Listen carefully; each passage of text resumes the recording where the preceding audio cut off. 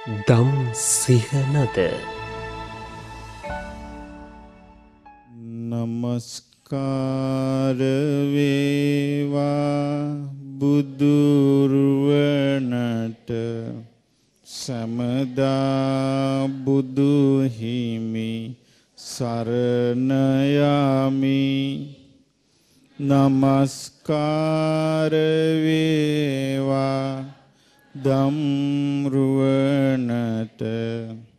සමදා සදහම් සරණ යමි නමස්කාර වේවා සංගරුවනට සමදා මහා සංඝ සරණ යමි නමස්කාර වේවා. තුනුරුවනට සමදා තිසරණ සරණ යමි. සාදු. සාදු. සදහවත් පින්වත්නි අපි දිගටම පසුගිය වැඩසටහන් වලදී ඉගෙන ගත්තේ පිනක ඇති වටිනාකම පිනක් විසින් අපට දෙන උදව්ව අප රැස් කරන්නා වූ පින අපිව අනතුරු වලින් බේරෙන විදිය. එතකොට ඒ වැඩසටහන් වලින් පිනගෙන කියවිච්ච දේ අපි ඒවා කියා දුන්නේ බුද්ධ දේශනා ආශ්‍රයෙන්. එතකොට නෝනෙත්තෙකුට අනේ අපිට පින් වැඩක් නැහැ. අපි කාටවත් වරදක් කරන්නේ නැහනේ. ඒ නිසා අපිට අමුතුවෙන් පින් කරන්න ඕනේ කියලා අර ඒ වගේ මිසදිටු අදහස් වැරදි අදහස් සමහරුන්ට ඇති වෙනවනේ. ආන් ඒ වයින් බැහැර වෙලා ඉඩ ලැබෙන වෙලාවට පින් කරගන්න අවස්ථාව ලැබෙනවා. එතකොට පිනක් ගැන අපිට අහන්න ලැබුණේ බුදුරජාණන් වහන්සේගේ දේශනාවලින් බුදු කෙනෙක් පහළ වීමේ මූලික පරමාර්ථය චතුරාර්ය සත්‍ය දේශනා කිරීමයි. එතකොට මේ චතුරාර්ය සත්‍ය දේශනා කරද්දී උන්වහන්සේ පිනගෙන දේශනා කළෙත් චතුරාර්ය සත්‍ය අවබෝධ කරන්ඩ සුදුසු පරිසරයක් ලබා දෙන්නයි.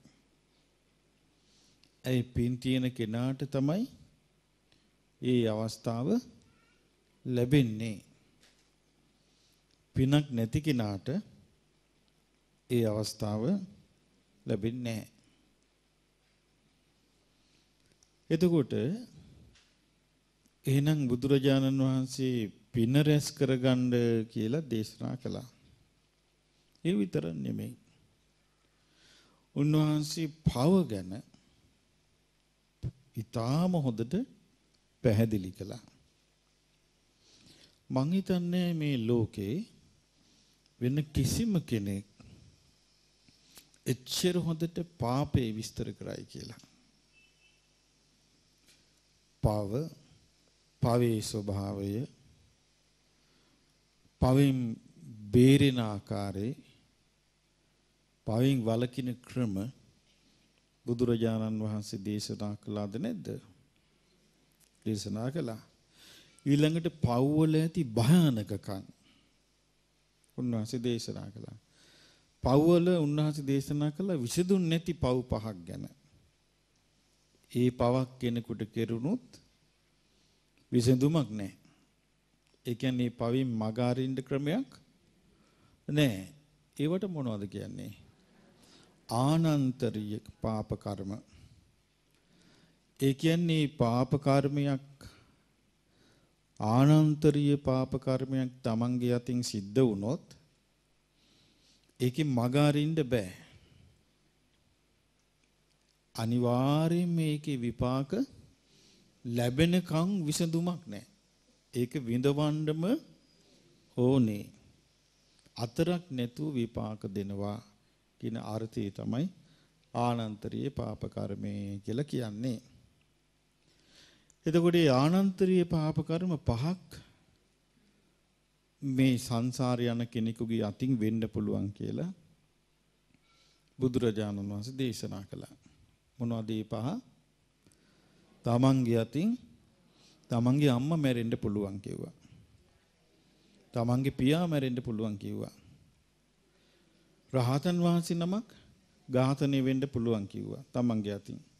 එතකොට මේ සංසාරය යන යන කෙනාගේ අනතුරු මේ තියෙන්නේ. ඊළඟට බුදුරජාණන් වහන්සේගේ දුෂ්ට සිතින් බුදුරජුන්ගේ ලේසෙල වෙන්න පුළුවන් කිව්වා. ඊළඟට සංඝ ભેදේ කෙරෙන්න පුළුවන්. මෙන්න මේවා යමෙකුගේ අතින් සිද්ධ වුණොත් සුනේ සුන්. අයියාට මේ සංසාරේ යන කෙනෙකුට මේ ආත්මේ පරිස්සම් වෙලා ඉඳී. නමුත් අපි දන්නවද ඊළඟ ආත්මෙට අහුවෙයි කියලා. ඒ නිසා අපිට මේ ආත්මේ අපේ ජීවිතවල සිද්ධ වෙන අර්බුද බලද්දී අපිට නොසිතූ දේවල් නොසිතූ කරදර වෙලා නැද්ද?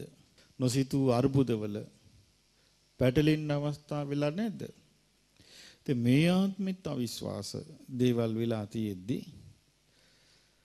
එතකොට නමුත් මේ ආත්මය අපි ආනන්තරී පාප කර්ම ගැන ඉගෙන ගත්තු නිසා මව්පියන්නේ වටිනාකම් ඉගෙන ගත්තු නිසා සංඝයාගේ සමගිය ගැන ඉගෙන ගත්තු නිසා පරිස්සම් වෙලා ඉඳී. ඊළඟ ආත්මේ ගිහිල්ලා කොහේ හරි උපන්නොත් ඒ ඊළඟ ආත්ම උපදින පරිසරය තුල මේව ගැන කවුරුවක් කතා කරන්නේ නැත්තම් ගොදුරු වෙන්න බැරිද? අන්න බීසුණු සසර. එතකොට මේවා බුදුරජාණන් වහන්සේ තමයි කියලා දුන්නේ. මේ ලෝකේ වෙන කිසිම කෙනෙක් දන්නේ නැහැ මේ ආනන්තරී පාප කර්ම ගැන. කිසිම කෙනෙක් දන්නේ නැහැ මේ පව කියන එක මේ ජීවිතේ සිද්ධ වෙන හැටි. එතකොට ඒ හරි විදියට දන්නේ නැති වුනහම පව කියන අදහසින් වැරදි විග්‍රහයක් තියෙනවා. ඒ සමහර ආගම් වල උගන්වන්නේ තමන් අදහන ආගමෙන් ඇර වෙන එකකට සැලකුවොත් පව්. එහෙම අර පව් වැරදි විදියට තෝරනවා. ඉතින් මේ බඳු ලෝකෙක මේ ක්‍රියාවේ තියෙන භයානකකම උන්වහන්සේ පෙන්වලා දුන්නා. එතකොට ඒ වගේ අනතුරුදායක ඉරණමක් කරා යන සුළු. කියන්නේ හැම ආත්මෙම බේරි බේරි යන්න බැරි. සසරක් තමයි අපි මේ ගත කරන්නේ. ඒ කියන්නේ හැම ආත්මිකම මෙහෙම බේරිලා බේරිලා බේරිලා යනවයි කියන එක ලේසි වැඩක් නෙවෙයි. ඉතින් එහෙම යන ගමනේදී අපිට මනුස්ස ලෝකයේ උපදින්න ලැබෙනවා කියන්නේ දුර්ලභ එකක්. දෙවියන් අතර උපදින්න ලැබෙනවා කියන්නේ දුර්ලභ එකක්. ඔය අවස්ථා දෙකේදී විතරයි පිනක් ගුණත් රැස් කරගන්න පුළුවන්. දෙවියන් අතරත් පුළුවන්. ඇයි අර සද්දෙවිඳු ඒ සුජා දෙවගණ සමග විශ්වලාගෙන ඇවිල්ලත් මහා කාශ්‍යප මහරහතන් වහන්සේට දානි දුන්නේ නැද්ද? දෙවිවරු ඇවිදින් සංඝයාට උපස්ථාන කළේ නැද්ද? රුවන්වැලි මහා සෑය හදද්දී දෙවිවරු ඇවිදින් උදව් කළේ නැද්ද? එහෙනම් දෙවිවරුන්ටත් පින් කරන්න අවස්ථාව ලැබුණා. මිනිසුන්ටත් පින් කරන්න අවස්ථාව ලැබුණා. එතකොට ඒ දෙවිවරුන් වෙලා ඉපදුනොත් බේරෙන්න පුළුවන්. manussත්වයේ රැකගත්තොත් බේරෙන්න පුළුවන්. දැන් බලන්න අර සාරිපුත්ත මොග්ගල්ලාන රහතන් වහන්සේලාට අග්‍ර ශ්‍රාවකයන් වහන්සේලාට බැනලා උන්වහන්සේලා කෙරෙහි වෛර බැඳගෙන භික්ෂුවක් හිටියා. මොකද මේ භික්ෂුවගේ නම කෝකාලික. ලාභ සත්කාර මුල් කරගෙන සාරිපුත්ත මොග්ගල්ලාන මහරහතන් වහන්සේට වෛර බැඳා. Tamanට ලාභ සත්කාර ලැබෙන්නේ නැහැ කියලා. ඒ වෛර බැඳගෙන අපහාස කළා ගරහලා පව් එවලම විපාක දුන්නා. ඇඟේ ගෙඩි දැම්මා. එතකොට එයා ඊළඟට කෙලීම මේ හේතු නිසා යන්න තියෙන්නේ නිරේ. නිරේ යනවා කියන්නේ ආය මනුස්ස ලෝකෙට එන්න තියෙන අවස්ථාවක් නැති වෙනවා. දෙවියන් අතරට යන්න තියෙන අවස්ථාවක් නැති වෙනවා. ඉතින් මේකෙන් බේරන්න බ්‍රහ්මීක් ඇවිල්ලා පෙනී හිටියා. මොන බ්‍රහ්මීක් කතා කළා? කාටද? කෝකාලිකට. බ්‍රහ්ම රාජයෙක් තුදූ කියලා බ්‍රහ්ම රාජයෙ පෙනී හිටිලා කිව්වා මේ සූත්‍ර දේශනාවල මේවා තියෙන්නේ.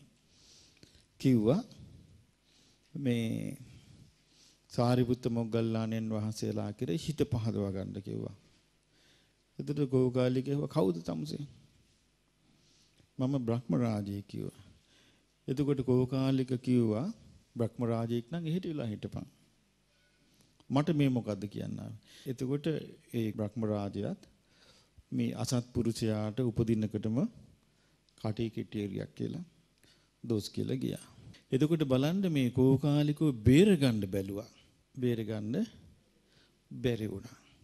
සංසාරේ ගමන් කරන සත්වේකුට Taman හොඳ පැත්තට හරව ගන්න අවස්ථා දෙකක් තියෙනවා. එකක් මිනිස් ලෝකයේ උපත. අනික දෙවියන් අතර උපත. එතන මේ අවස්ථා දෙකෙන් මනුස්ස ලෝකේ දැන් අපි ඉන්නේ. මේ මනුස්ස ලෝකේ උපත ලැබිච්ච අය මේ අවස්ථාව අහිමි කර ගන්නවා කියලා. පැහැදිලිද නැද්ද? පැහැදිලි. මේ මනුස්ස ලෝක උපදින කෙනෙක් මනාකොට තිසරණේ පිහිටන්න තියෙන අවස්ථාව අහිමි කර ගන්නවා. ධර්මයෙන් හරි විදිහට තේරුම් ගන්න තියෙන අවස්ථාව අහිමි කර ගන්නවා. පින රැස් කර ගන්න තියෙන අවස්ථාව අහිමි කර ගන්නවා. මේම අහිමි කරගත්තාම එයාට දෙවියන් අතරට යන්න තියෙන අවස්ථාවත් අහිමි වෙනවා. නැවත මනුස්ස ලෝකෙට එන්න තියෙන අවස්ථාවත් අහිමි වෙනවා. ආයි ගිලිහි යනවා. එතකොට අපි මේ පිනගෙන ඉගෙන ගත්තේ දිගටම මනුස්ස ලෝකෙත් දිවි ලෝකෙත් රඳවන්න උදව් වෙන එක. ඒ කියන්නේ පිනෙන් තමයි මිනිස්සයා මිනිස් ලෝකෙට රඳවන්නේ. වෙන දෙයකින් නෙමෙයි. එතකොට පිනෙන් තමයි සත්වයා දිව්‍ය ලෝකෙ රඳවන්නේ. එතකොට මනුස්ස ලෝකෙ රැඳෙන්න බෑ පින නැත්තම්. දිව්‍ය ලෝකෙ රැඳෙන්නත් බෑ පින නැත්තම්. එතකොට මනුස්ස ලෝකෙ රැඳිලා ඉන්නවනම් හරි තැනක. දැන් බලන්න මේ පසුගිය දවස්වල අර ඉරාකේ අර්ථස්වාදී පොඩි දරුවෝ රැස් කරලා ඒ දරුවන්ගේ අතට බෝනික්කු දීලා පිහිදෙනවා. දීලා අර ඒගොල්ලෝ අත්අඩංගු ගත්ත කෙනෙක්ව ඒක ත්‍රස්තවාදී බෙල්ල කපනවා. ළමයි ළමයින්ට පේන්න. පිහින් බෙල්ල කපද්දී ළමයින්ට කියන මෙන්න මේ විදිහට කපපන් අර බෝනිකන්ගේ බෙලි. එදිවල අර පොඩි උන් අර බෝනිකන්ගේ බෙලි කපනවා. ඒ අර ලොකු වෙලා මිනිස්සුන්ගේ බෙල්ල කපන්න උගන්වනවා. දැක්කද නරක තැන ඉපදුනා. ඒ නරක තැන උපදින්න ගෙනිච්ච කවුද? එයාගේ පින් අඩුකම. මනුස්ස ලෝක උපදින්න පින තියෙනවා. හරි තැනට ගෙනියන්න පින නැහැ. දැක්කද වෙනස? මනුස්ස ලෝකෙ උපදින්න පින තිබ්බා. හැබැයි හරි තැන උපදින්නත් පිනක් ඕනේ. ඒතර මනුස්ස ලෝකෙත් ඉපදිලා හරි තැනත් ඉපදිලා එයා අතෑරියොත් එයාට සුළුපටු පරාජයක්ද එයාට බරපතල පරාජයක් මේ සංසාරය යන කෙනෙකුට බරපතල හානියක් දැන් එතකොට අර පොඩි දරුවට ඒක උගන්වන්නේ පිනේ නාමෙන් කොහොමද උගන්වන්නේ මේ විදිහට මේ ඒගොල්ලන්ගේ ආගම විශ්වාස කරන්නේ නැති කෙනෙක්ව මේ විදිහට බෙල්ල කපාපන්. එතකොට උඹ ස්වර්ගය යනවා. එතකොට අර පොඩි දරුවා ඉගෙන ගන්නේ එහෙනම් මට ස්වර්ගය යන්න තියෙන ක්‍රමය මොකද්ද? කවුරු හරි කෙනෙක් හොයාගෙන මිසදිටු කියලා ඒගොල්ලෝ හිතන කෙනෙක් හොයාගෙන බෙල්ල කපන එකයි. එතකොට මෙබඳු මතයක් හරි කියලා හිතාගෙන පිළිගත්තොත් යම් සමාජයක ඒ සමාජයේ ජීවත් වෙන මිනිස්සුන්ට මොන තරම් කටුක ඉරණමක්ද අයිති වෙන්නේ. ඉතින් එහෙම පරිසරයක තමයි අපිට මේ බුදුරජාණන් වහන්සේ ඇත්ත කියලා දෙන. උන්වහන්සේගේ ඇත්ත ධර්මයේ අපිට අහන්න ලැබෙන්නේ. එතකොට ඔන්න අපි දැන් මනුස්ස ලෝකේ ඉන්නවා. මනුස්ස ලෝකේ අපේ වාසනාවට අපි හරි තැන උපන්නා. දැන් බලන්න මනුස්ස ලෝකේ ආවත් හරි තැන උපදින්න බැරි වුණොත් දැන් මේ කාලේ බුද්ධ ගයාව කියන්නේ හරි තැනක් නෙමෙයි. මනුස්ස ලෝකේ තමයි. ඒ මනුස්ස ලෝකේ උපන්නට ධර්මයේ කියා දෙන්න කෙනෙක් නැත්තම් ධර්මයේ කියා දෙන්න හිටපු කෙනෙක් අපවත් වුණා. දැන් ධර්මයේ කියා දෙන්න කෙනෙක් නැහැ. එතකොට පිම්පව් තේරෙනවා. පිම්පව් තේරුණාට ඒක තෝරලා දෙන්න කෙනෙක් ඕනේ. මේක පින මේක පව කියලා. ඒ කෙනෙක් හිටියොත් තමයි මේ පින පව කියන එක අපි තෝරගන්නේ. එහෙම කෙනෙක් නොසිටියොත් පින පව හරි විදියට තෝරලා දෙන්න කෙනෙක් නොසිටියොත් පවට අහු වෙන්න බැරිද? පින අහිමි වෙන්න බැරිද? පුළුවන්. ආන් ඒකයි මනුස්ස ලෝකේ හරි තැන උපදින්න අපිට ලොකු පිනක් තියෙන්න ඕනේ. හරි තැන කියලා කියන්නේ බුදුරජාණන් වහන්සේගේ ධර්මය ඇහෙන තැන. ඊළඟට Tamanටත් පිම්පව් තේරෙන තැන. එහෙම Tamanටත් පිම්පව් තේරෙන්නේ නැත්තම් බුදුරජාණන් වහන්සේගේ ධර්මය ඇහුණා කියලා Tamanට ප්‍රයෝජනයක් නැහැ. ඒ Tamanට තේරෙන්නේ නැහනේ. ඒ Tamanට තේරෙන්න ඉපේ ප්‍රයෝජනයක් වෙන්න. ඉතින් ඒ නිසා එහෙම බලද්දී මනුස්ස ලෝකයේ උපදින්න ලැබීමත් හරි තැනක උපදින්න ලැබීම කෙනෙකුට ලැබෙන දුර්ලභ භාග්‍යයක්. එතකොට මනුස්ස ලෝකයේ ඉන්න කෙනෙකුට දිවි ලෝකයට යන්න පාර හැදෙනවා අර පින නිසා. එතකොට ආයමත් යාට හරි තැන ආයමල් ලැබෙනවා. මේ හරි තැනකින් ගන්න තියෙන ප්‍රයෝජනීය ගැනයි මේ අද පොඩ්ඩක් කතා කරන්න කල්පනා කළේ.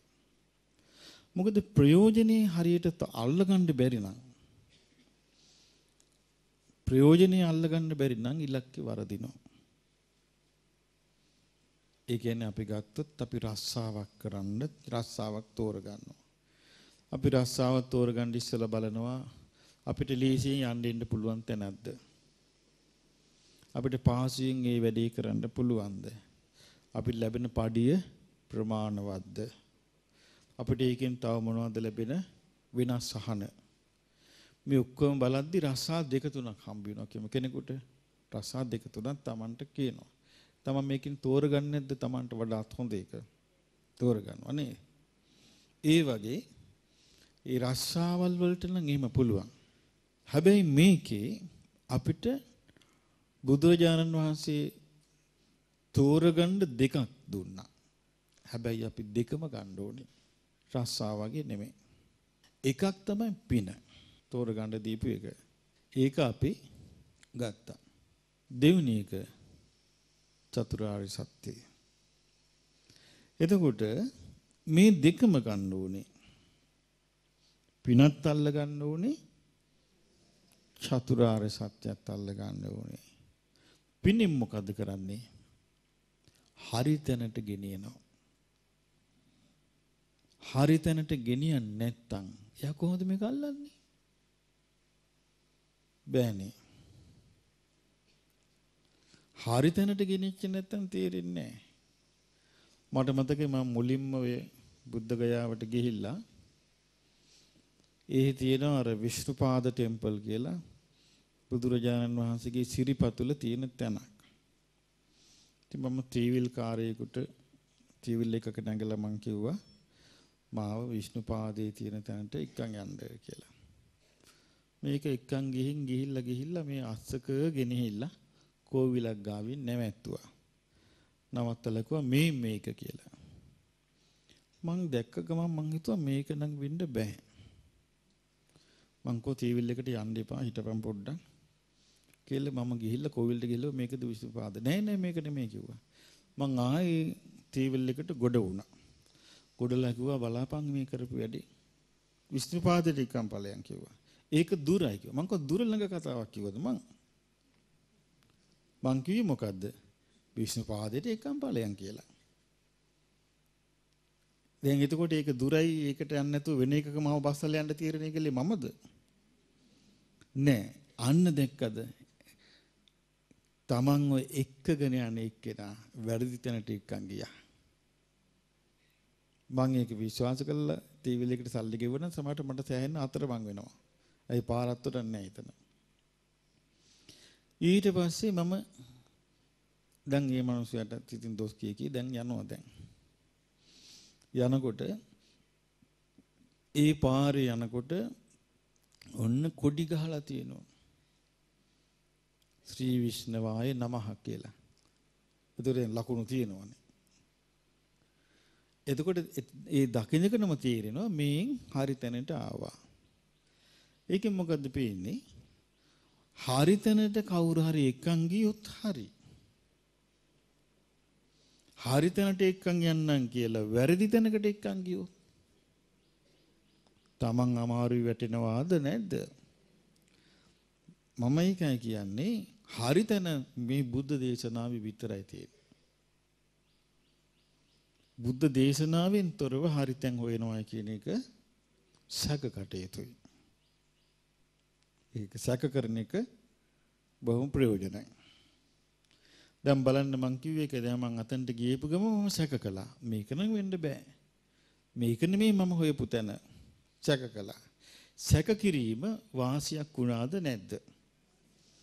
සැක කළ යුතු තැන සැක කළ යුතුයි. හැමදේම විශ්වාස කරන්න ගියොත් විශාල කරදරයක වැටෙනවා. එතකොට සැක නොකරන එක පැහැදිලි එකක්. ඒ නිසා බුදුරජාණන් වහන්සේගේ ධර්මයේ බුද්ධ දේශනාවල කෙලවරක් නැතිව විස්තර වෙනවා පින රැස් කිරීම ගැන. ඒ පින රැස් කරන්න කියලා උන්වහන්සේ පෙන්වා දෙනවා තුන් ආකාරයකින් කොහොමද? ඔව් දානෙ දෙන්න කියනවා. දානයත් පින රැස් කරන ක්‍රමයක්. ඊළඟට ඔව් සීල සංවරය යෙදෙන්න කියනවා.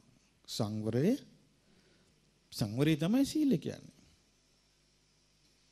සීලය කියන්නේ සංවරකම.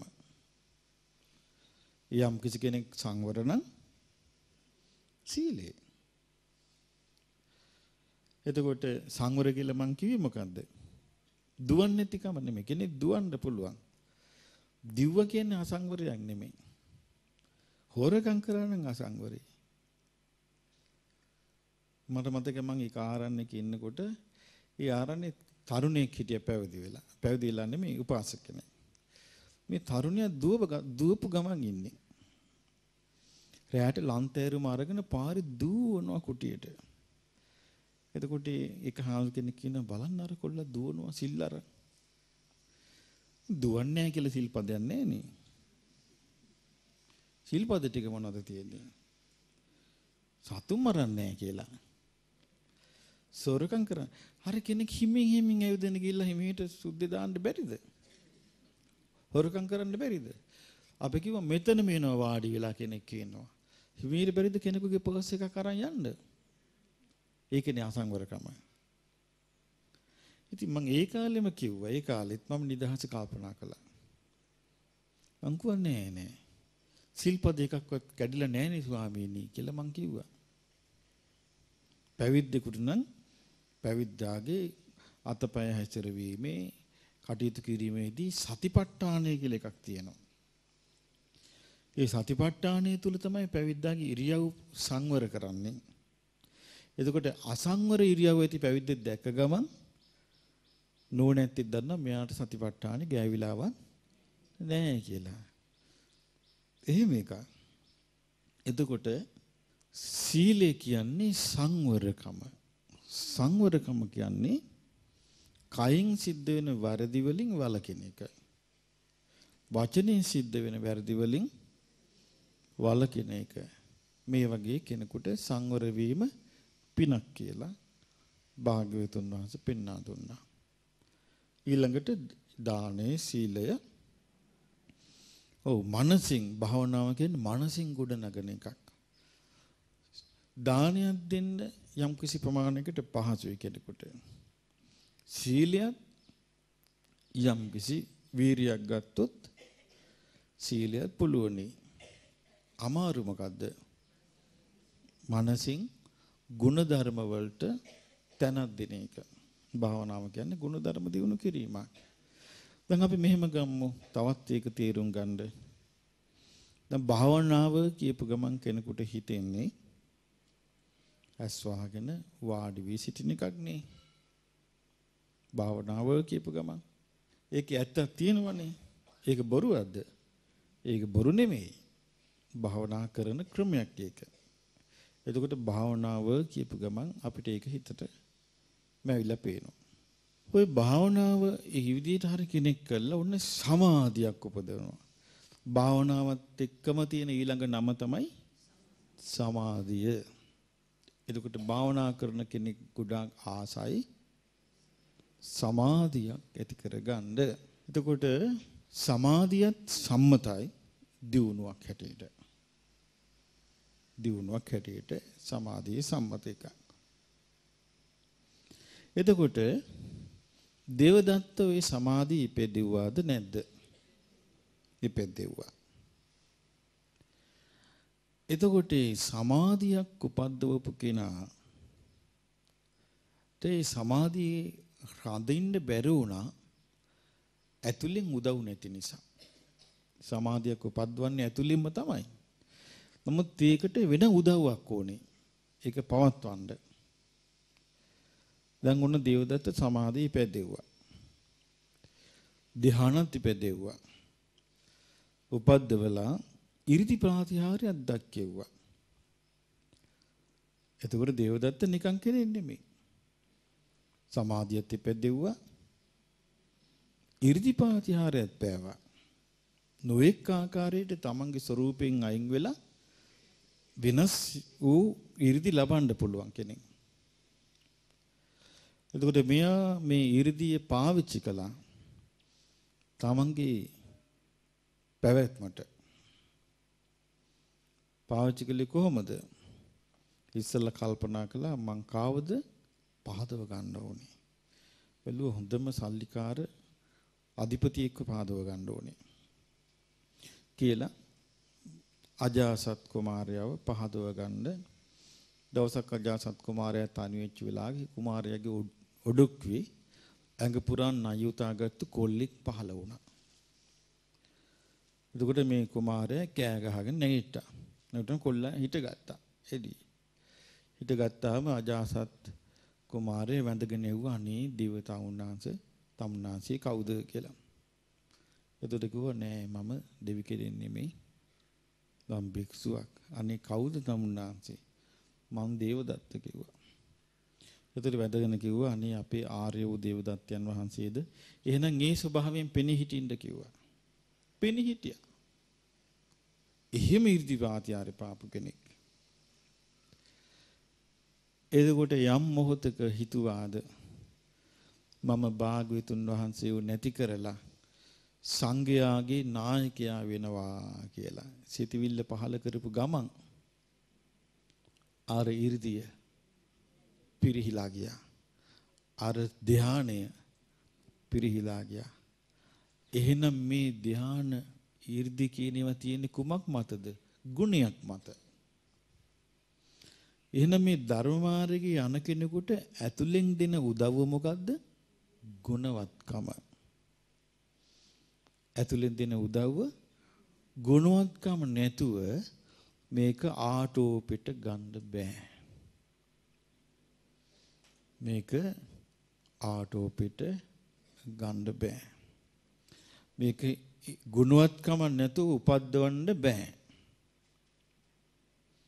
හැබැයි ගුණවත්කම නැතුව ඉපෙද්දෙව්ව සමාධිය. ගුණවත්කම නැතුව 이르දිපාතය ඉපෙද්දෙව්වා. නමුත් ඒක හැබෑ ලෙස දියුණු වෙන්න පවත්වන්න මොකක් කරන්න බෑ.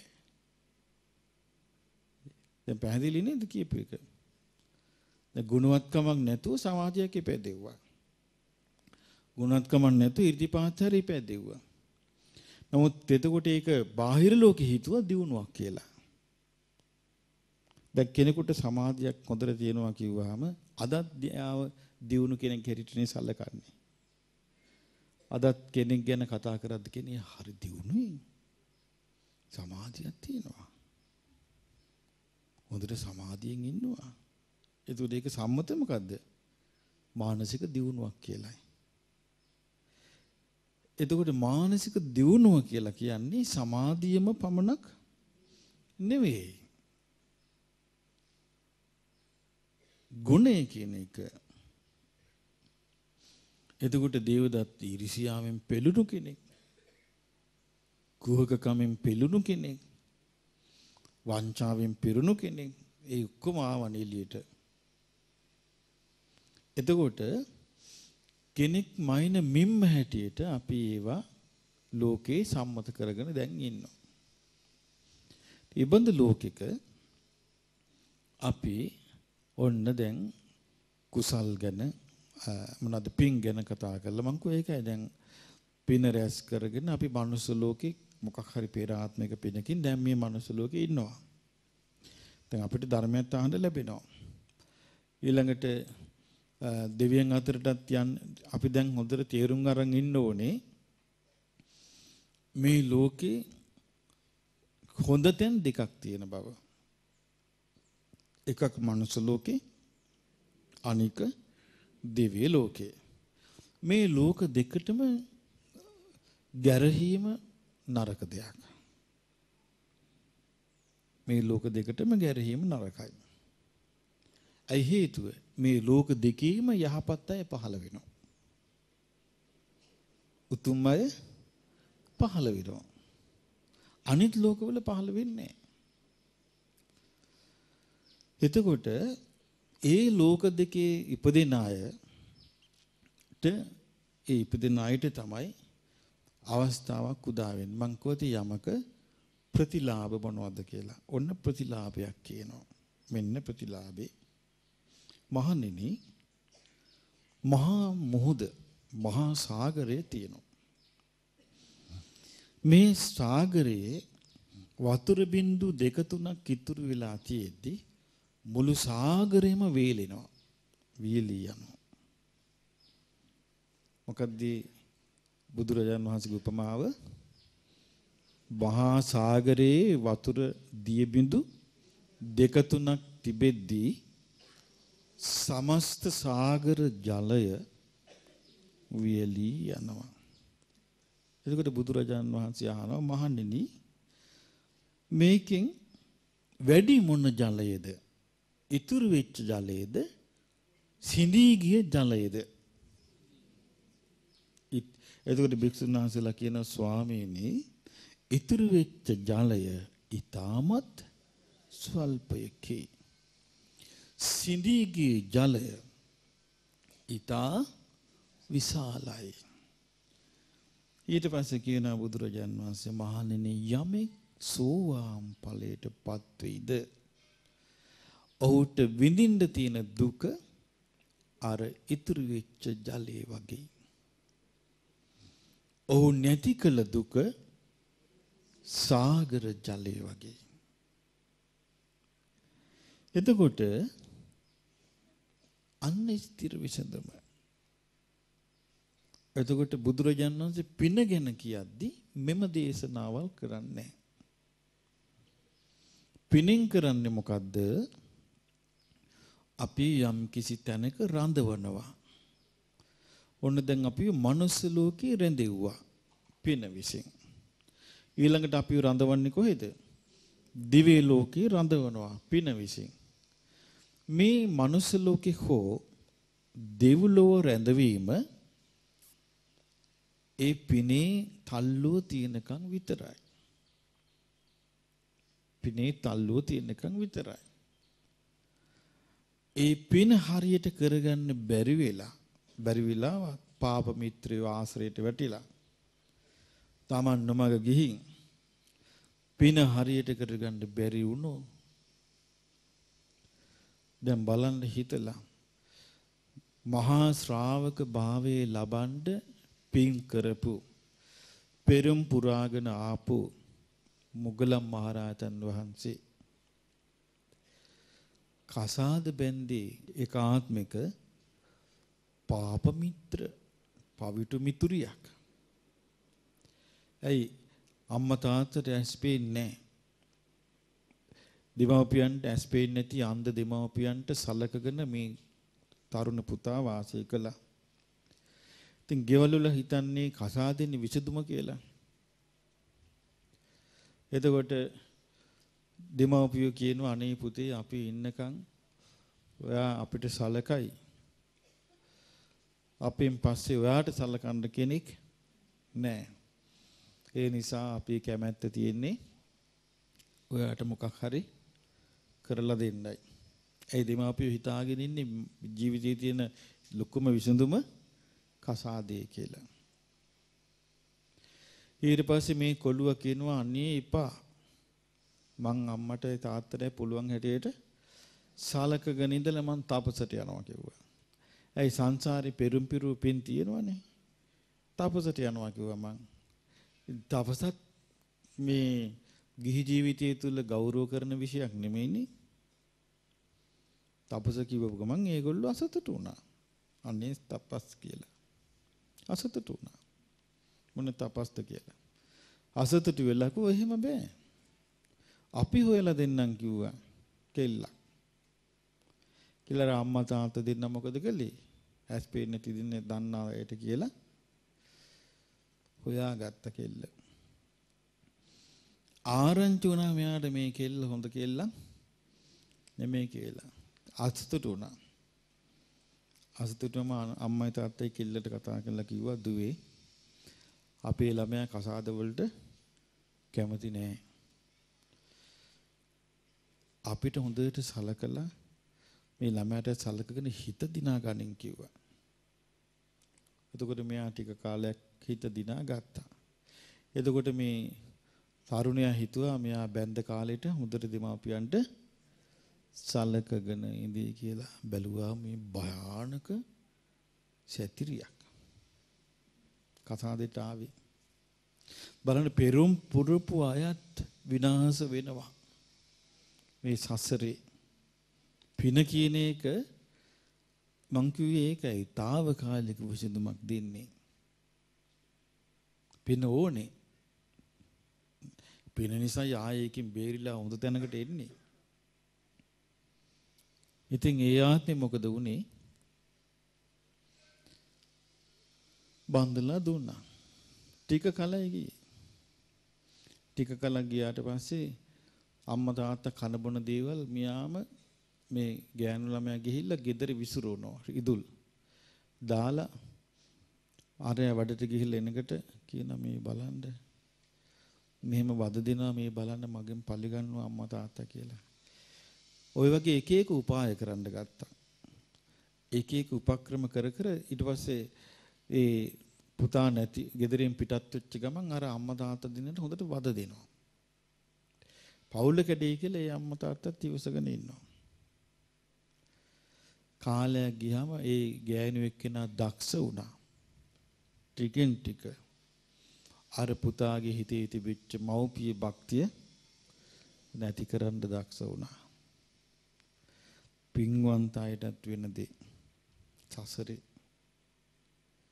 අපිට තියෙන දෙච්චර පින් මුගලන් මහරහතන් වහන්සේ සංසාරේ ඒකාසංකේය කාපලක්ෂ පෙරුම් පිරුපින් එහෙම මහා පින් ගොඩක් තියාගෙනද අපි මේ යන්නේ? නෑ. ඊට පස්සේ අන්තිමට කිව්වා එක්ක ඔයා මේ අම්මා තාත්තත් එක්ක ඉන්න. මම යන්නම්. ඒ වෙද්දි මෙයා මේ ගෑනු එක්කෙන අරය වසඟ කළා ඉවරයි.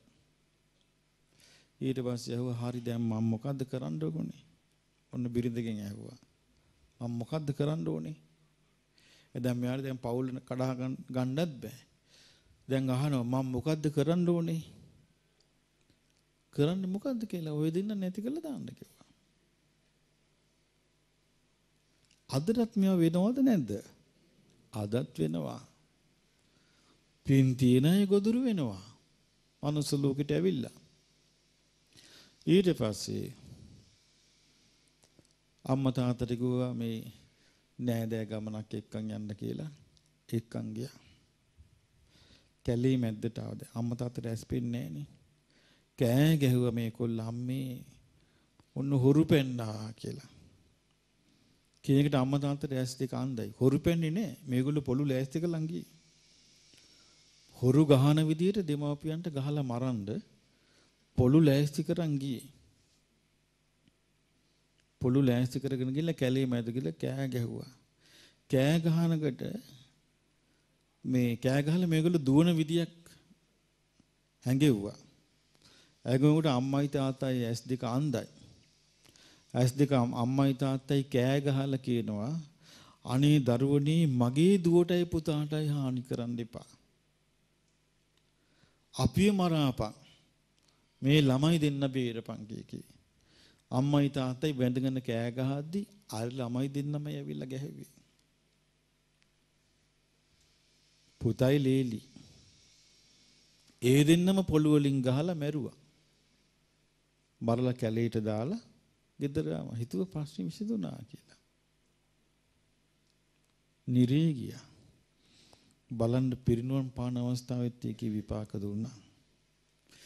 එතකොට බලන්න මුගලන් මහරහතන් වහන්සේ වැනි උත්තමයන්ටත් මේ සසර බිහිසුණු වුණා නම් භයානක වුණා නම් විශාල අනතුරු වලට බඳුන් වුණා නම් අපිට මොකද්ද තියෙන සවිය?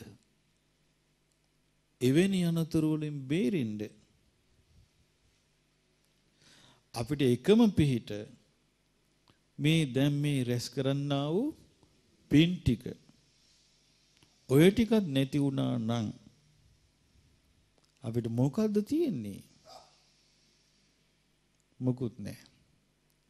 ඒ නිසා පිනෙන් හැමතිස්සෙම తాවකාලික රැකවරණයක් අපිට දෙනවා.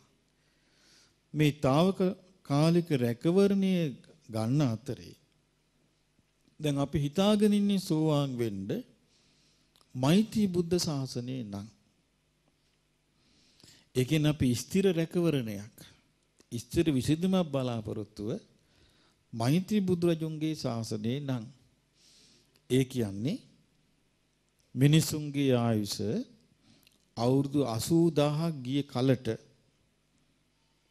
පහළ වෙන මෛත්‍රී බුදුන්ගේ ශාසනය නම් අපි සෝවාන් වෙන්න හිතන් ඉන්නේ. එතෙක් අපි මේ යන්නේ తాවකාලිකව පිනෙන් ලැබෙන උදව් වෙන්නේ නේද? తాවකාලික පිනෙන් එච්චර දුරක් අනතුරකට නොහෙලා අපිව අරගෙන යයි කියලා අපිට තියෙන සාහිතිකය මොකද්ද? මෛත්‍රී බුදුරජුන් දකින්නකන් එදාට නම් අපි සෝවාන් වෙන්න බලාගෙන ඉන්නේ ඒ වෙනකන් අපිට මේ බිහිසුණු සසරේ අපි වෙනස් වෙන්නේ නැහැ. අපි පින තුලම රැඳිලා ඉන්නවා කියලා සහතිකයක් Tamanට ගන්න පුළුවන්. තමයි මේ ජීවිතේ වෙනස් නොවි හිටියනම්. මේ පිනට එනවා මේ අතාරිනවා. මේ පහදිනවා මේ බනිනවා. කොහොමද වෙනස් වෙන්නේ නැත්තේ? කොච්චර වෙනස් මමම දන්නවනේ මෙහෙට ආපුවම කොච්චර ඉන්නවද එහෙම. මේ පැහැදිලා එනවා මේ බැනලා යනවා. අනුන් කරන පිනටත් ගරහනවා. අනුන්ගේ පින දැකලත් බැනලා යනවා. එතකොට Tamanටම පින හදාගන්න හිත ලෑස්ති නැත්තම් Tamanටම පින තේරෙන්නේ නැත්තම් Tamanටම පින හඳුනගන්න බැරි නම් එහෙනම් පිටස්තරද අනතුර අනතුර තියෙන්නේ Tamanගේ පිටද Taman තුලමනේ ඒ අනතුරත් එක්ක යන ගමනේ Tamanට රැකවරණයක් තියනවා කියලා Taman හිතනවා නම් ඊටත් වඩා මෝඩකමක් තවත් ඇද්ද ඉතින් ඒ නිසා ඒ එතෙක් බලාගෙන සිටීම නෝනැත්තෙකුගේ වැඩක් නෙවෙයි. ඇයි මේ ගෞතම බුද්ධ ශාසනය තියෙන කාලේ. මනුස්ස ලෝකයෙන් මේක කරගන්න අමාරු වෙන්න පුළුවනි. හැබැයි මනුස්ස ලෝක හොඳට මේ පින රැස් කරගෙන එයාට දෙවියන් අතර යන්න ලැබුණොත් එයා නිකම්ම නිකන් දෙවි කෙනෙක් නෙවෙයි. එයා පිනක් අරගෙන ගියපු කෙනෙක්. මොකද දිවි ලෝක යන්න බෑනේ පිනක් නැතුව. පිනක් රැස් කරගෙන ගියපු කෙනෙක්. එතකොට යා ඒ පින රැස් කරන්න ඕනේ ඉලක්කයකට. ආන්ගේකම කියන්නේ ඒ ඉලක්කය තමයි බුද්ධ ශාසනයක මේ ගෞතම බුද්ධ ශාසනයේ සෝවාන් වෙන්න ලැබීම. ඒ හොඳටම ඇති. මහා විශාල දේවල් අල්ලන්න ඕනේ නැහැ. ඇයි දැන් බලන්න මේ විසඳුම. බුදුරජාණන් වහන්සේ පෙන්වා දීලා තියෙනවා මහණෙනි මහා සමුද්‍රය තියෙනවා. මේ මහා සමුද්‍රයේ ජල බිඳු දෙක තුනක් ඉතුරු වෙලා සම්පූර්ණ මහා ජලස්කන්ධයම සිඳිලා යනවා. ඊට පස්සේ අහනවා මහණෙනි මේ සිඳිලා ගියාම මේ ජලස්කන්ධය එතකොට සිඳිච්ච ජලයකුත් තියෙනවා ඉතුරු වෙච්ච ජලයකුත් තියෙනවා ඉතුරු වෙච්ච ජලයේ බිඳු දෙක තුනයි. එතකොට අහනවා මහණෙනි මේකින් වැඩි මොකද්ද? ඉතුරු වෙච්ච ජලයේද සිඳුණු ජලයේද? එතකොට භික්ෂුන් වහන්සේලා මොකද්ද කියන්නේ? ස්වාමීනි භාග්‍යවතුන් වහන්සේ මහා සාගරේ ඔව් සිඳුණු යම් ජලයක් ඇද්ද? සිඳී ගිය. එය අති විශාලයි ඉතුරු ජලයක් ඇද්ද? බිඳු දෙක තුන ඊටමත් ස්වල්පයයි. එතකොට බුදුරජාණන් වහන්සේ උදාළ මහණෙනි ඒ වගේ තමයි සෝවාන් වෙච්ච කෙනෙකුට විඳින්න ඇති දුකක් ඇද්ද? ඊටමත් ස්වල්පයයි. ප්‍රහාණය වී ගිය නැති වී ගිය සිඳී ගිය දුකක් ඇද්ද? එය විශාල දුකක් නැති වෙලා ගියා කිව්වා. එහෙමනම් සෝවාන් වෙච්ච කෙනෙකුට විඳින්න තියෙන්නේ වතුර බින්දු දෙක තුනක වගේ ස්වල්ප දුකක් නම් නැති වී ගියක සාගර ජලය වගේ නම් එතන පැහැදිලිව විසඳුමක් තියනවාද නැද්ද? තියෙනවා. බුදුරජාණන් වහන්සේ පෙන්වා දෙනවා මහත්යෝ භික්ඛවේ ධම්මචක්කු පටිලාභෝ මහණෙනි මේ ධම්මැස පහළ වෙනවා කියන්නේ මහා යහපතක්. ධම්මැස පහළ වෙනවා කියන්නේ මහා යහපතක්. ඉමස්මින් චපන වෙය්‍යා කරනස්මින් බඤ්ඤමානේ ආයස්මතෝ කොණ්ඩඤ්ඤස්ස විරජං වීතමලං ධම්මචක්කුං උදපාදී. අන්න විරජ වීතමල ධම්මචක්කුව දහම් ඇස පහළ වුණා කියන්නේ මහත් වූ යහපතයි කියනවා. එතකොට දහම් ඇස පහළ වුණාට පස්සේ යාට ධර්මයේ පේනවනේ. එතකොට එහෙමනම් අපිට අපේ ජීවිතේ තියෙන්න ඕනේ බලාපොරොත්තු මොකද්ද? සෝවාන් වීම. ඒ මේ ගෞතම බුද්ධ ශාසනයේ සෝවාන් වීම. දැන් මේ ජීවිතය අපි ඒකට උමනා කරන දේවල් සම්පාදනය කරගත්තොත් ඊළඟ ජීවිතේදී බොහෝ විට සාක්ෂාත් කරන්න පුළුවන්. ඒ බොහෝ විට කිව්වේ අවංක කෙනෙකුට බොහෝ විට පින මෝරගෙන යන්න පුළුවන්. තමන්ගේ පුණ්‍ය බලයේ මේරීම මතයි. ඒක තියෙන්නේ. පුණ්‍ය බලයේ මේරිලා නැත්තම් මෝරලා නැත්තම් ඒක වෙන්නේ උදාහරණයක් මම ඔබට කියන්නම්. රාහුල ස්වාමීන් වහන්සේ දවසක් රාහුලයන් සාරිපුත්ත මහරහතන් වහන්සේ ගාවට වැඩියා. රාහුලයන් වහන්සේට සාරිපුත්ත මහරහතන් වහන්සේ වදාළ රාහුල ආනාපාන සතිය වඩන්න කිව්වා. දැන් මේ රාහුල ස්වාමීන් වහන්සේ දන්නේ නැහැ ආනාපාන සතිය වඩන්න හැටි. භාග්‍යවතුන් වහන්සේ ළඟට ගියා. ගිල්ල භාග්‍යවතුන් වහන්සේට වන්දනා කළා. වන්දනා කළා ඇහුවා ස්වාමීනි භාග්‍යවතුන් වහන්සේ ආනාපානි වඩන්නේ කොහොමද කියලා ඇහුවා. එතකොට බුදුරජාන් වහන්සේ වදාළ රාහුල ඇස අනිත්‍ය වශයෙන් බලන්න. ආනාපාන කිව්වේ නැහැ. අන්තිමට තමයි ආනාපාන සතිය ගැන ඒක විස්තර කළේ. ඇස කන නාසය දිවක ආයතන හය අනිත්‍ය. රාහුලයන් වහන්සේ කහගෙන ගියා. විලෝක පුරුදු කළා.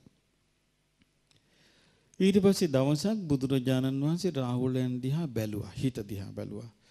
බලදී අන්න හිතේ දියුණු වෙලා. හිතේ ප්‍රඥාව වැඩිලා. ඊට පස්සේ ගෝ රාහුලය පත්කඩේ නිසීදනී වාඩි වෙන පත්කඩේ ගන්න. අපි යන් කෙවුවා. කියලා වාඩි කරලා ධර්ම කතාව විදුන රහත් ඵලයටපත් වුණා. එතකොට බලන්න එහෙනම් ඒ කාලෙත් යම් කිසි කාලයක් ගියා මෝරන්න. පින් තියන අයට පාරමී පිරුව අයටත්. අපි ගත්තොත් භාග්‍යවතුන් වහන්සේගේ ඒ අවසාන ආත්මේ පුත්‍ර රත්නයක් වෙලා උපදින්න පාරමී පිරුව කෙනෙක් ඉබඳු කෙනෙකුටත් කාලයක් ගියා මෝරන්න. ඊළඟට මහා මොග්ගල්ලාන මහරහතන් වහන්සේ ඒ කාසංකේ කාපලක්ෂණ පෙරුම් පුරලා ඒ බඳු උත්තමයට ටික කාලයක් ගියා මෝරන්න. එහෙනම් දැන් අපි දැන් කාලයක් තිස්සේ මේ ධර්මයේ අවංකවම ඉගෙන ගන්නවා පුරුදු කරනවා. එහෙනම් ටික ටික තමයි මේක හිතේ පළපදියම් වෙලා සකස් වෙන්න යන්නේ. ඉතින් එහෙම ගිහිල්ලා ඒ ඒ කුසලතාත් එක්ක දෙවියන් අතරට අපි උපන්නෝ. අපේ ආකල්පේ අදහස බලාපොරොත්තුව චතුරාර්ය සත්‍ය අවබෝධ කිරිල්ල නම් ඒ හිතේ තියෙන සකස් වෙච්ච ගුණධර්මයන්ට කුසලතාවයට අනුව වේවි. එහෙමයි ඒව සිද්ධ වෙන්නේ. ඉතින් ඒ නිසා මේ පුරුදු කරගෙන යන කෙනෙකුට මොකද හේතුව දැන් සමහර අම්මලා අපිට කියනවානේ මේ ඒ වගේ නුවණකාර වචන පාවිච්චි කරන්නේ නැති අය අපිට මුණ ගැහෙනවා. අපිට මට කියනවා අනේ මට නම් කායේ උපදින්න අදහසක් නැහැ හාමුදුරනේ කියනවා. ඒ කියන්නේ ඒ කියන්නේ පිරිනොම් පාන්න එපා එහෙනම්. දැන් උපදින්න අදහසක් නැත්තම් පිරිනොම් පාන්න ඕනේ. ඉතින් ගිහි ගෙදර ඉඳලා ඕක කරන්න පුළුවන් ඒ විහිළු කතානේ. මේ මහාන වෙලක් කරගන්න බැරි ඒවා. එතකොට ඒ වගේ අර්ථ ශූන්‍ය කතා තීරුමක් නැති අරුත්සුන් වචන කියන එකේ තේරුම මොකද්ද? ධර්මය තේරුනේ නෑ කියන එකයි. ඒ ධර්මයේ තේරුණු අය කියන ඒවා නෙවෙයි. ඒ ධර්මය මොකද්ද කියන එක දන්නේ නෑ. ධර්මය කියන එක ආත්ම දෘෂ්ටියෙන් බලලා ගන්න බෑ.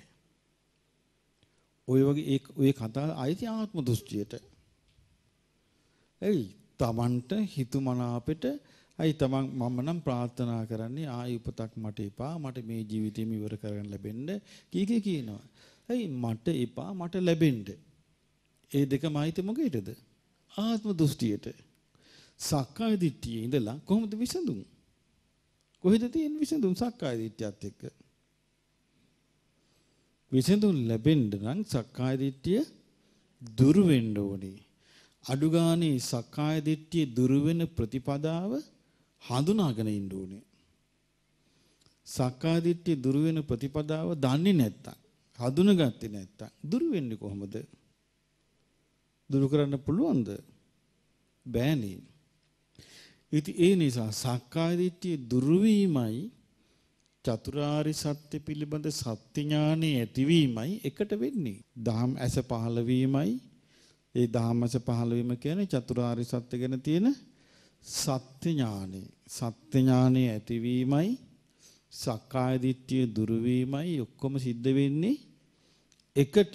ඒකේ උපමාව කොහොමද තියෙන්නේ? ආ කරවල ලෝකික විදුලියක් කොටද්දී විදුලි එළියෙන් විදුලි එළිය කෙටිල්ලයි සම්පූර්ණ මේ පරිසරය හඳුනා ගැනීමයි ඔක්කොම වෙන්නේ එකට. ඒ උපමාවක්. හැබැයි විදුලි කොටනවා නෙමෙයි. එතකොට මේ ඒ වගේ තමයි මේ සත්‍ය අවබෝධය කියන එක. හැබැයි මේ සත්‍ය අවබෝධය ගැන අවංක අදහස අපිට ආවොත් ඒක අපේ මොකක් හරි විශාල පින් සිටිවිල්ලක් පිනක්. ඇයි මේ අදහස ආවාගෙන අපිට යම්කිසි දෙයක් තේරුණා කියන එකයි. ඇයි හේතුව? අපිට මේකෙන් චතුරාර්ය සත්‍ය අඩු ගන්න අපිට මේ සෝවාන් දැන් මේක කියනවානේ. මේක තේරුණා නම් හරියට මේ උපමාව. මොකද්ද? සාගර ජලයේ වතුර බින්දු දෙක තුනක් තියලා හිඳිලා ගියා කියන්නේ ඉවරනේ ප්‍රශ්නේ. ඒ තව තියෙන වතුර බින්දු දෙකයිනේ.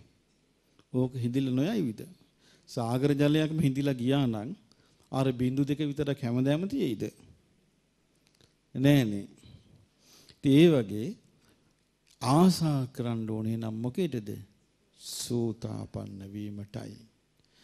ඊට පස්සේ ඊටු ටික ඔක්කොම යා හරිගස්ස ගනී ටිකෙන් ටික. ඒකයි සාරිපුත්ත මහරහතන් වහන්සේගෙන බුදුරජාන් වහන්සේ වර්ණනා කළේ. සජිතාපි භික්කවේ ජනිත්ති ඒවන් සාරිපුත්තෝ. මහණෙනි සාරිපුත්යන් වහන්සේ දරුවන් බිහි කරන අම්මා වගේ. සාරිපුත්තෝ භික්කවේ සෝතාපට්ටි ඵලේ විනීති. මහණෙනි සාරිපුත්තයන් සෝවාන් ඵලයට හික්මවයි. එතකොට ඒක තමයි අමාරු මේක.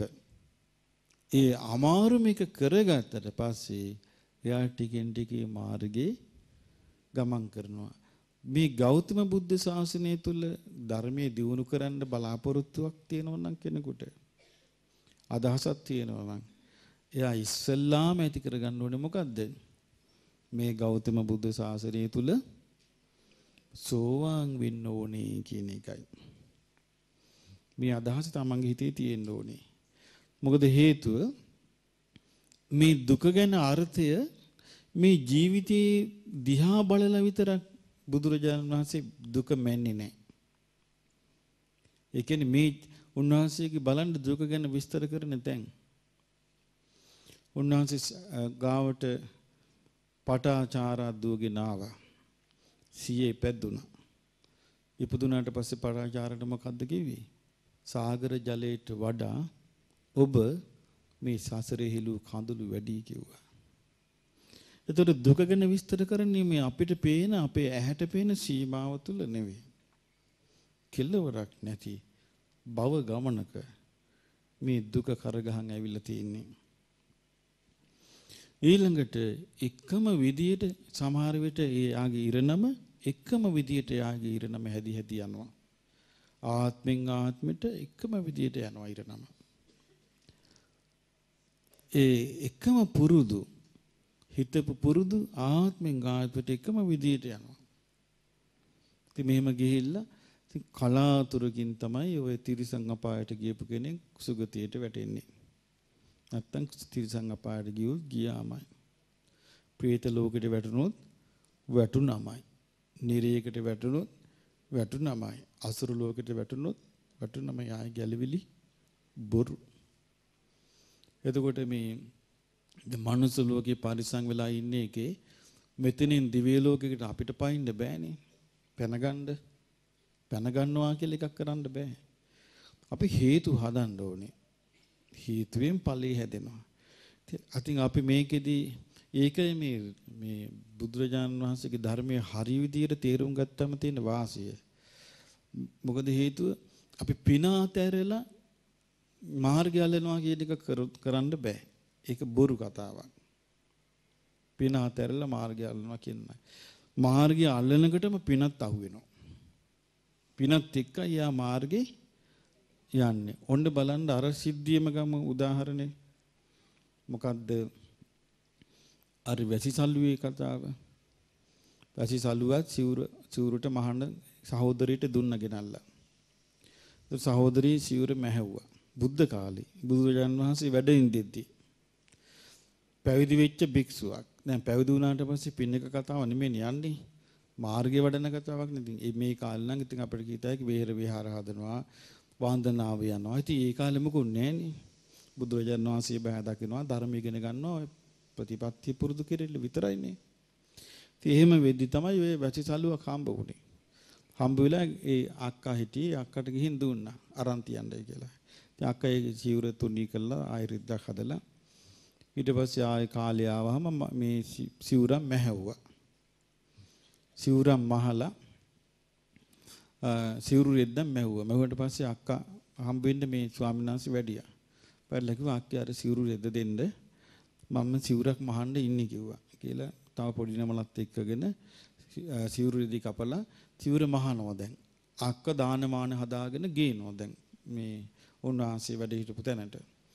එතකොට දැන් ගොන්න සිවුර මහලා ඉවර කළා. සිවුර කරලා පඳු පෙවලා සිවුර හොඳට හැදුවා. හදලා ඔන්න සිවුරු වැලේ දැම්මා. කුටි වැලේ දැම්මා හිටපම් පුරවනවා. කවුද හිතන්නේ ඕකට හිත බැඳෙයි කියලා. හිටපම් පුරවනවා කියලා වැලේ දැම්මා. ඔන්න රෑ වාත අමාරුවක් හැදිලා අපවත් වුණා. උපන්නේ කොහෙද? ආර සිවුරේ කාවෙක් වුණා. ආවගෙම කෙනෙක් ආසයි කෑමක් කන්න. ඔන්න අද ගෙනාවා. ගෙනලා ෆ්‍රිජ් එකේ දැම්මා හිට කන්න. රෑ මල. එතකොට බැරි වෙලාවත් මතක් වුණොත් උපදින්නේ කොහෙද? නෑ නෑ අපි එහෙම උපදීවා කියලා ප්‍රාර්ථනා කරනවා. එහෙම නෙමෙයි මේ කියන්නේ. මේ කියන්නේ මේකේ තියෙන අවිනිශ්චිතකම වෙනස් වෙන සුළු බව. එතකොට දැන් අක්කා උදේ බලද්දී මේ තමන්ගේ මල්ලි ස්වාමීන් වහන්සේ අපවත් වෙලා ඉතින් අඩා දොඩා ඉතින් අවසන් කටයුතු කළා. බුදුරජාණන් වහන්සේ සවැත් නුවර මේ සවැත් නුවරම මේ සිද්ධිය වෙන්නේ.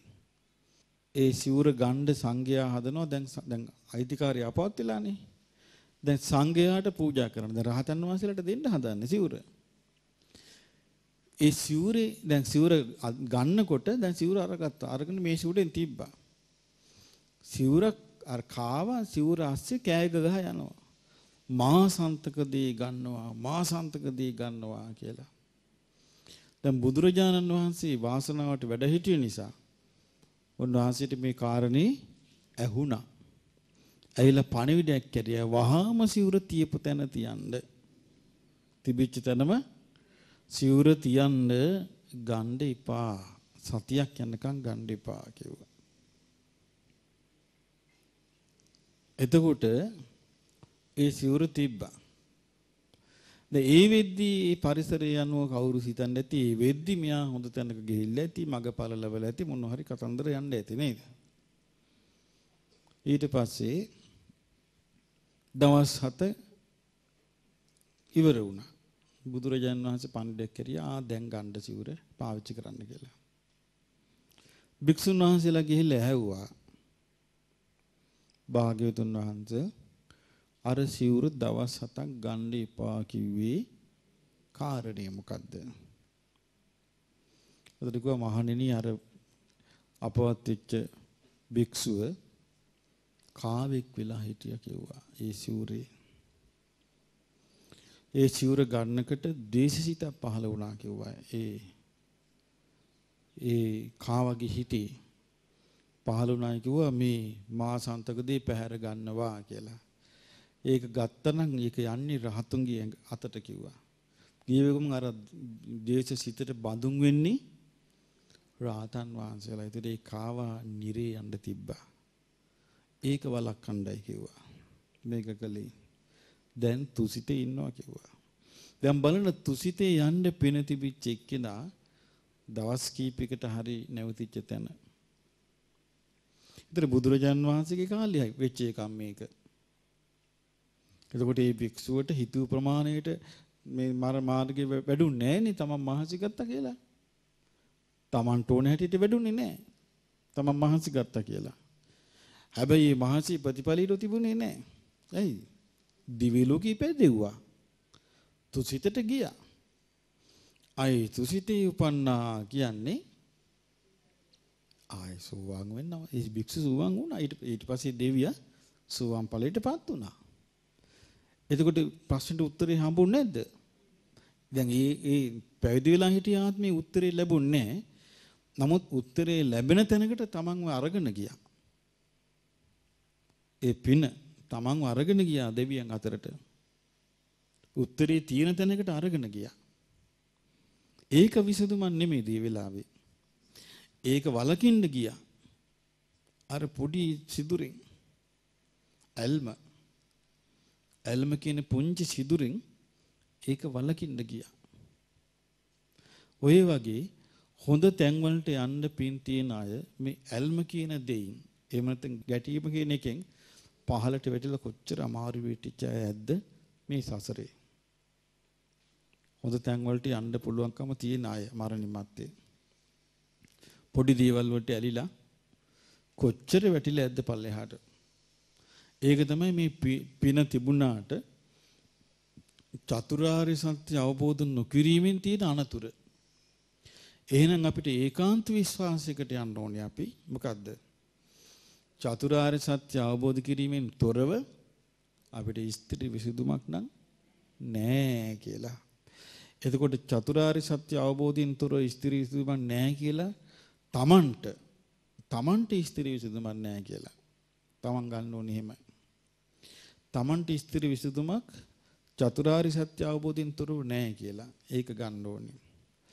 ඊළඟට මේ පරිසරේ ඉස්සරහට එන්න එන්න මේ ලෝකේ මනුස්ස ලෝකේ ගුණධර්මයන්ගේ පරිහානිය තියෙනවා. ඒක පැහැදිලිනේ. මනුස්ස ලෝකේ පැහැදිලිම ගුණධර්ම පරිහානිය තියෙනවා. මොකද්ද ගුණධර්ම පරිහානිය ලකුණු? නීතිගරුක නැහැ. නීතියකට ගරු කරන්නේ යහපත් පැවැත්මකට උදව්වක් නැහැ. කලබලයි. වේගින් සනෙන් ආවේගයටපත් වෙනවා. ආවේගයටපත් වුණාට පස්සේ ඒ පුද්ගලයව හසුරවන්නේ ආවේගයෙන්. ආවේගශීලී සමාජයක නීතියකට කිසිම තැනක් නැහැ. එතන ඉඳලා ಗುಣධර්ම ගැන කතා කරන්න බෑ. ඉතින් එහෙම එහෙම ලෝකයක් තමයි දැන් හැදිලා තියෙන්නේ. ඒ නිසා වර්තමාන මිනිස්සෙකුට දෙවියන් අතර උපදිනවා කියන්නේ ලොකු අභියෝගයක්. එච්චරට මෙයාගේ මනුස්ස සිත සකස් වෙලා නැහැ. ඒතර මනුස්ස සිත පිළියෙල වෙන්න එයා මං හිතන්නේ මේ කරුණු දෙකම තදේට හිතට ගන්න ඕනේ. මොකද්ද? මම චතුරාර්ය සත්‍ය අවබෝධ කිරීමෙන් තොරව මට මේකේ විසඳුමක් නැහැ. කියන එක තදේට Tamanට තේරිලා තියෙන්න ඕනි. අපි කියලා නෙමෙයි. අපි කිව්වොත් යන්නේ කොහොමද? චතුරාර්ය සත්‍ය අවබෝධින් තුර විසඳුමක් නැහැ කියලා ස්වාමීන් වහන්සේ කිව්වා. ඒකට ඒක කෙනෙකුගේ ප්‍රවෘත්තියක්. ඒ තවත් කෙනෙක් කියපු එකක් මතක හිටලා. එහෙම නෙමෙයි වෙන්න ඕනේ. Tamanට තේරෙන්න ඕනේ Tamanට විසඳුමක් නැහැ කියලා. ඒ Tamanට තේරෙන්නේ නැත්තම් Taman කොහොමද මේක හොයන් යන්නේ? පුළුවන්ද? Tamanට Taman ධර්ම මාර්ගයේ හැසිරෙන්නේ නැහැනේ මේක Tamanට තේරුන්නේ නැත්තම්. ඊට පස්සේ කියන්නේ ස්වාමීන් වහන්සේ කිව්වා චතුරාර්ය සත්‍ය අවබෝධින් තොරව විසඳුමක් නැහැ කියලා. එතකොට ඒක වෙනත් කෙනෙකුගේ කීමක්. ඒක තමන්ගේ එකක් නෙමෙයි. එහෙම නෙමෙයි වෙන්න ඕනේ. මේ බුද්ධ දේශනා අනුසාරයෙන් තමන් එන්න ඕනේ තීරණයට. තමන් තීරණයට එනතුරු විසඳුම තමන් තුළ වැඩ කරන්නේ තමන් තුළ විසඳුම වැඩ කරන්න ගන්නේ තමන් ගන්න තීරණය මතයි. ඒ චේතනාව නෙමෙයිද කර්මය. ඒ තමන් තුළම චේතනාව පහළ වෙන්න ඉපෑ. එහෙම නැතුව මේක කොපි ගහන්න බෑ. එතකොට මේ අන්නේ විදිහට මේ Tamanට චතුරාර්ය සත්‍ය අවබෝධයෙන් තුරව මේ මගේ මේ ප්‍රශ්නෙට විසඳුමක් නැහැ කියලා Tamanට තේරෙන මට්ටමට Tamanට දහම් කරුණු එකතු කරගෙන තියෙන්න ඕනේ. ඒ කියන්නේ බුදුරජාණන් වහන්සේගේ බුද්ධ දේශනා ආශ්‍රයෙන් සසර දුක වැටහිලා ඔව් වැටහීමට උත්සාහය ඇති කරගන්න ඕනේ. එතකොට තමයි මොකද දැන් අපේ හිතේ ස්වභාවයට වෙනස් එකක්. හිතේ ස්වභාවය මොකද්ද? ලස්සනට ඉන්න ආසයි. රසවත් කෑම කන්න ආසයි. ලස්සන ගෙයක් දොරක් හදාගෙන ඉන්න ආසයි. අමුදරුවෝ ලස්සනට දරු මල්ලම් පිරිවරාගෙන කරදරෙන්නේ නැතුව ඉන්න ආසයි. ඔය ඇතරේ ගමන් බිමන් යන්න ආසයි. ඇහෙන් ප්‍රියමනාප රූප දකින්න ආසයි. කනෙන් ප්‍රියමනාප ශබ්ද අසන්න ආසයි. නාසයෙන් ප්‍රියමනාප සුවඳ දැනගන්න ආසයි. දිවෙන් ප්‍රියමනාප රස විඳින්න ආසයි. කයෙන් ප්‍රියමනාප පහස ලබන්න ආසයි. මේවා සම්බන්ධයෙන් හිත මේ අරමුණු වැළඳගෙන හිත හිතින්ද ආසයි. ඒතර ඒ ස්වභාවය නිසා අපි මේ ඇදිලා යන්නේ. මේ සසරට ඇදිලා යන්නේ ස්වභාවය නිසා. එතකොට මේ ඇදිලා යන එක අපි නවත්ත ගන්න බෑ එහෙම එක වෙල්ලේ.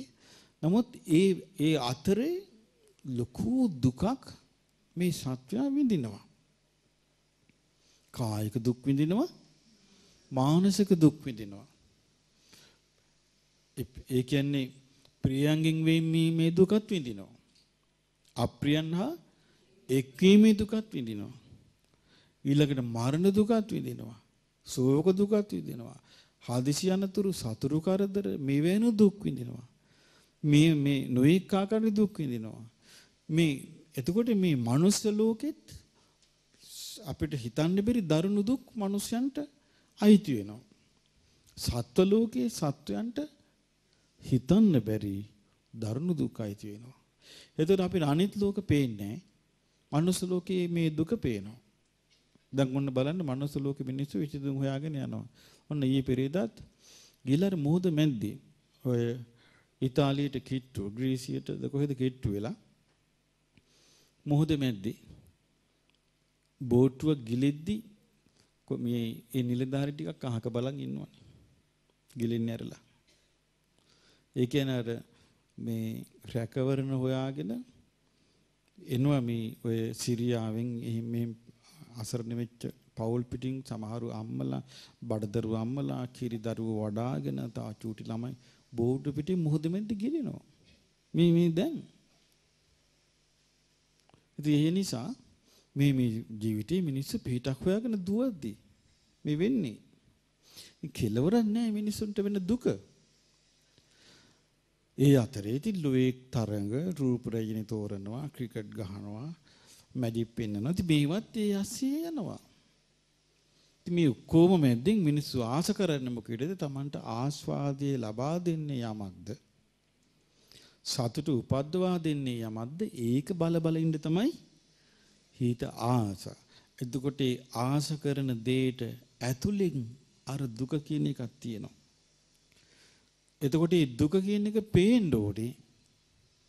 මේක මට නම් මේ දුක නැවත නැවත විඳින්න නම් බෑ මට නම් එපා කියලා නිශ්චයකට එන්න තමන්ගේ හිත තුලින් තමන්ට තීරණයකට එන්න නම් තමන්ට යම්කිසි වැටහීමක් ඇති වෙන්න ඕනේ. ඒ වැටහීම ඒ නිතරම ඒ විදිහටම තියෙයි කියලා මම විශ්වාස කරන්නේ. ඒ නිතරම හැමදෙස්සෙම මේ මායාකාරී ලෝකෙ පෙන්වන්නේ වෙනින්ද යන්නේ. නමුත් අර පෙන්නන දේ ඇතුලෙන් ඇත්ත දකින්න හිත පුරුදු වුණාම ටික ටික යා දක්ෂ වෙනවා සසර දුක දකින්න. ඒ සසර දුක දකින දකින තේරුම් යන යන වෙලාවට මොකක්ද යට ඇති වෙන දේ? එයාට කලකිරෙනවා. අනේ මෙහෙම සසරකද මෙච්චර කල් මම මේ ආවේ. මෙහෙම සසරකද මට දිගින් දිගට යන්න තියෙන්නේ. මෙහෙම සසරක මම මොනතරම් කර්ම රැස් කරලා ඇද්ද? මම මොනතරම් කර්ම විපාක බිඳ බිඳ ඇද්ද කියලා එහෙම තේරෙන්නේ. ඊට පස්සේ තමයි යාට එන්නේ මට විසඳුමක් නැහැ මේකේ චතුරාර්ය සත්‍ය අවබෝධ කිරීමෙන් තොරව මට මේකට වෙන උත්තරයක් නම් නෑ කියලා Tamanටමයි තේරෙන්න ඕනේ වෙන කෙනෙකුට නෙමෙයි. ඊට පස්සේ තමයි Taman තේරුම් ගන්නේ Tamanට මේ වටහා ගන්න තියෙන ප්‍රමාණය අඩු වැඩිය. තේරුම් අරගෙන ඊට පස්සේ තමයි Taman කාපනා කළා එහෙනම් මට මේක දිනු කරගන්න බැරි වෙලාවත් මම මලොත්. බැරි මිනිස්සු මැරෙන හැටියට බැරි වෙලාවත් මම මැරුණොත් මම මට ආයි මෙහෙට ආවොත් නම් මට මුකුත් කරගන්න බෑ. මම දෙවියන් අතරට යනවා. මම කියලා ආන්න එතකොට තමයි දේවතානුස්සති නිකම්ම වැඩෙනවා යාට. සීක බල එයා හොඳට අල්ල ගන්නවා ඊට පස්සේ. ඊට පස්සේ යා දෙවියන් අතරට යතු යන්නේ. ඒ කියන්නේ දෙවියන් අතරට යා එයාට උපැත්තියක් ගෙනත් දුන්නොත් අර හැකියාවල් එක්ක තමයි එන්නේ. ඊට පස්සේ එතනදිත් එයා හොයන්න ගන්නවා ආයේ මේකින් මිදෙන්න තියෙන මාර්ගය. මෙව හිතේ පළපදියම් වෙන්නේ නැතුව අපිට ඒක કૃතිම විදියට ඇති කරගන්න බෑ. કૃතිම විදියට ඇති කරගන්න දෙයක් පවතින්නේ නැහැ. ඒක නැති වෙලා යනවා. ස්වභාවිකව හැදෙන එකක් තමයි ටික ටික හැදෙන්නේ. දැන් බලන්න හිතලා සෝවාන් ඵලයට හැබෑ ලෙසම කෙනෙක් සෝවාන් වුණොත්, සෝවාන් මාර්ගයේ ගමන් කළොත් හැබෑ ලෙස මුලා නොවි සෝවාන් ඵලයටපත් වෙයි. එතකොට සෝවාන් ඵලයටපත් වුණොත් එයාට සක්කාය දිට්ඨිය විචිකිච්ඡා සීලබ්බත පරාමාස නැති වෙයි. කෙනෙකුට එහෙම නැති වුණොත් එයාට සක්කාය දිට්ඨියෙන් තොරව හේතුඵල වශයෙන් බලන හැකියාව ඇති වෙයි. ඒ හේතුඵලනේ ඇති වෙයි. ඒ මොනොත් ටිකෙන් ටික එයා ඒ විදිහට හිත හිත යයි. ආය අමුතියෙන් කවුරුවත් එයාව අමුතියෙන් දක්වන්න දෙයක් නෑ. ධර්මය අල්ලන් යයි. අනතුරු තියෙන්නේ ඊට මෙහා. අනතුරු තියෙන්නේ මේ ධර්ම මාර්ගයට යොමු නොවි සිටින තාක්. එයි මේ ජීවිතේ මෙහෙම පින රැස් කරගෙන ඉන්නවා. ඊළඟ ජීවිතය ආව වෙනවා. ඒක දැන් බලන්න මේ මේ ජීවිතෙත් එහෙම වෙනවනේ. අර උපාසක කෙනෙක් සතියක් සිල් සමාදන් වෙලා හිටියා. ජේතවනාරාම. පාන්දර ජාමේ ආචිරවතී ගඟට ගියානේ මොන හොදන්න. පාන්දරෙන් ගියා පහට විතර ගියා. ඒ උපාසකෝන්නේ තනියම එතනට යද්දී හොරෙක් දුවගෙන එනවා ආභරණයක් කොරකම් කොල්ලා. හොරා මෙතන ආභරණي අතහැරලා දුවනවා. මිනිස්සු ඇවිල්ලා මේ උපාසක හොරා කියලා හිතලා ගහලා යනවා ආභරණෙත් අරගෙන. බුදුරජාණන් වහන්සේ ළඟට මේ සාමණේර නමලා ගියා. ගිහිල්ලා කිව්වා භාග්‍යවතුන් වහන්සේ සතියක් මේ උපාසක සිල් අරන් මේ හිටියා. අද පාන්දරින් ගිහිල්ලා අචිරවතියට ගිහිල්ලා මෙහෙම මේ නොකල හොරකමකට අහුවෙලා මේ මිනිස්සු ගහලා මරලා කිව්වා. එතකොට බුදුරජාන් වහන්සේ වදාලා මහණෙනි මේ ආත්මේ නම් මේ වෙච්ච විදිය හරි නෑ තමයි. නමුත් එයාම කරගත්තු එකක් ඒවා පෙර ආත්මික. එතකොට බලන්න මේ සංසාරේ එන දේවල් එක එක විදියට එක එක ආත්මෙට කැරකි කැරකි එනවා. කැරකි කැරකි එනවා. හිතන්න බැරි විදියට. මිනිස්යන්ට. ඒ නිසා අර චතුරාර්ය දැන් ඒ උපාසක ඒ වෙද්දි චතුරාර්ය සත්‍ය අවබෝධ කරලා හිටියනම් ප්‍රශ්න ඉවර නැද්ද? ඉවරයි. නැත්තම් කෙලවරක් නැහැ. ඇයි තව අවස්ථාවක් තියෙනවා මේ යාගයකට එළුවෙක් මරන්න ගෙනල්ලා දැන් ඉතින් මේ බ්‍රාහ්මණය එළුවා ගෙනාවා. එළුවා ගෙනල්ලා සේව ඒ බ්‍රාහ්මණය සේවකයන්ට කිව්වා මේ ගඟට ගෙනිල්ලා හොඳට නාවගෙන මේකට මල් මාලයක් දාලා අරන් වරෙන් මේ යාගට මරන්න කියලා. ඉතින් ගඟට ගෙනිල්ලා එළුව නෑවුවා.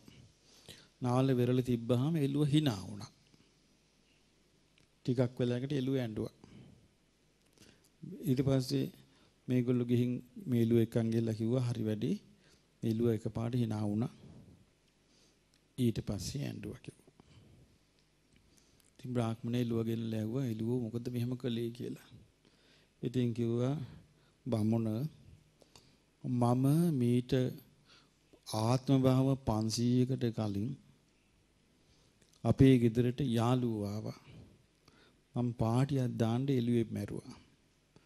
මරලා මේ යාළුවන්ට කන්න දුන්නා. එදා ඒ ආත්මෙන් පස්සේ මට මනුස්ස ආත්මයක් හම්බුන්නේ නැහැ. උපනුපන් ආත්මේ මගේ බෙල්ල කැපුවා. ඉතින් මට මේ ආත්මේ 500 වෙනි ආත්මේ මේකෙන් පස්සේ මගේ ඒ කර්මය ඉවරයි. ඒක මට hina ගියේ. එතකොට එහෙනම් ඇඬුවේ මොකෝ? ඇඬුවේ මට අයිති වෙච්ච කර්මය උඹට අයිති වෙනවා කිව්වා. අද දැන් ඔබ මාව මරලා මං විඳපු කර්මය ඔබ විඳිනවා. ඒක දැකලයි මම මේ ඇඬුවේ කිව්වා. එතකොට බ්‍රාහ්මණයා කිව්වා එහෙනම් එළුවෝ උඹ මම මේ අද නිදහස් කරනවා මරණයෙන්. අබේදානෙ දෙනවා. එළුවා කියනවා ඒක හරියන්නේ නැහැ කිව්වා. අදින් මගේ ආයුෂ ඉවරේ මට අද මේ මෝණ දෙන්න වෙනවාමයි මට මේ කර්මෙට කිව්වා. නෑ නෑ එහෙම වෙන්න දෙන්නේ අපි බේරෙනවා කිව්වා. කියලා සේවකයන්ට කතා කරලා කිව්වා මේ එළුවට අත තියන්න එපා. මේ එළුවට ආදරෙන් සලකාපන්. මම අබේ දානි දුන්නා කිව්වා. එළුවත් එක්කගෙන ගල් තලාවකට අතරින් යද්දි ගල් තලාවක පොඩි පඳුරක් තිබ්බා මේ මේ ගස් කොල්ලන්. එළුවා මේ පඳුරට ගිහිල්ලා එතන තව ගලක් තිබ්බ. ඒ ගලට කකුල් දෙක තියලා ඉස්සිලා අර ඒ ගහේ කොල්ල කකා හිටියා. එතකොට අකුණක් ගැහුවා. අකුණ අර ගලේ පතුරට වැදිලා ඒ පතුරක් එළුවගේ බෙල්ලට වැදිලා බෙල්ල කැපිලා මැරුණා. ඒ නිසා මේ කර්මය කියන එක පස්සෙන් එද්දී පින යටපත් කරන් විපාක එනවා. පින මැඩගෙන විපාක එනවා. පින මැඩගෙන විපාකගෙන එක අහන දෙයක්ද? මුගලන් මහරහතන් වහන්සේගේ රහත් ඵලයත් මැඩගෙන ගියානේ. කර්ම විපාකේ. දැක්කද උන්වහන්සේ පිරුණම් බාපු හැටි. ඉතින් බඳ ලෝකික අපේ ස්ථිරවම අපිට තියෙන විශේෂම මොකද්ද? සෝවාන් ඵලයේ බුදුරජාණන් වහන්සේ නොයෙක් උපමාවලේ උපමා ඔක්කොම කිව්වත් පාඩු නෑ. උන්වහන්සේ දේශනා කරන මහණෙනි හිමාල පර්වතේ නැති වෙලා ගිහින් ඉතුරු වෙනවා අබෑට හතක්. කියන මහණෙනි හිමාල පර්වතේ නැති වෙලා ගිහිලා එතන පර්වතේ වෙනුවට ඉතුරු වෙන්නේ අබෑට හතක්. එතකොට මහණෙනි නැති වෙලා ගිය හිමාල පර්වතයේද විශාල අර ඉතුරු වෙච්ච අබෑට හතද. භික්ෂුන් වහන්සේලා කියනවා භාග්‍යතුන් වහන්සේ මේ ඉතුරු වෙච්ච අබහැට හත වගේ තියෙන ප්‍රමාණී පස් ටික ඊටාම සුවල්පයි. ආර නැති වෙච්ච හිමාල පර්වතේ මහා විශාල දෙයක් නැති වුණා. ඒ වගේ එතකොට බුදුරජාන් වහන්සේ වදාලා මහණෙනි මේ වගේ තමයි යමෙක් සෝවාන් ඵලයටපත් වුනොත් එයාට විඳින්න තියෙන දුක අබෑට හත වගේ එයා නැති කරපු දුක හිමාල පර්වතේ වගේ ඊළඟට බුදුරජාණන් වහන්සේ ඊළඟට කියනවා මහණෙනි කෙනෙක් පුරුෂයෙක් සාගර ජලයට ඇඟිල්ල දාලා වතුර බින්දු දෙකක් ගොඩට ගන්නවා. ඊට පස්සේ අහනවා ගොඩාක් වතුර තියෙන්නේ මොකේද? ගොඩට ගත්තු වතුර බින්දු දෙකේද සාගර ජලයේද? ඉතින් කියනවා භාග්‍යවතුන් වහන්සේ ගොඩට ගත්තු නැති සාගර ජලයේ සාගරයේ ඇති ජල ස්කන්ධය අති විශාලයි. ගොඩටගත්තු ජලය ඊටා සුවල්පයයි. ඉත බුදුරජාණන් වහන්සේ වදාලා මහණෙනි ඒ වගේ තමයි යම් කිසි කෙනෙකුට ධම්මචක්කු දහම්මැස ලැබිලා එයාට උපදින්න තියෙන ආත්ම හතක් නම් ඒ ආත්ම හතේ දුක අර ගොඩට ගත්තු වතුර බින්දු දෙක වගේ කියනවා. එයාගේ නැති වෙච්ච දුක අර සාගර ජලයේ ඇති මහා ජලස්කන්ධය වගේ කියනවා.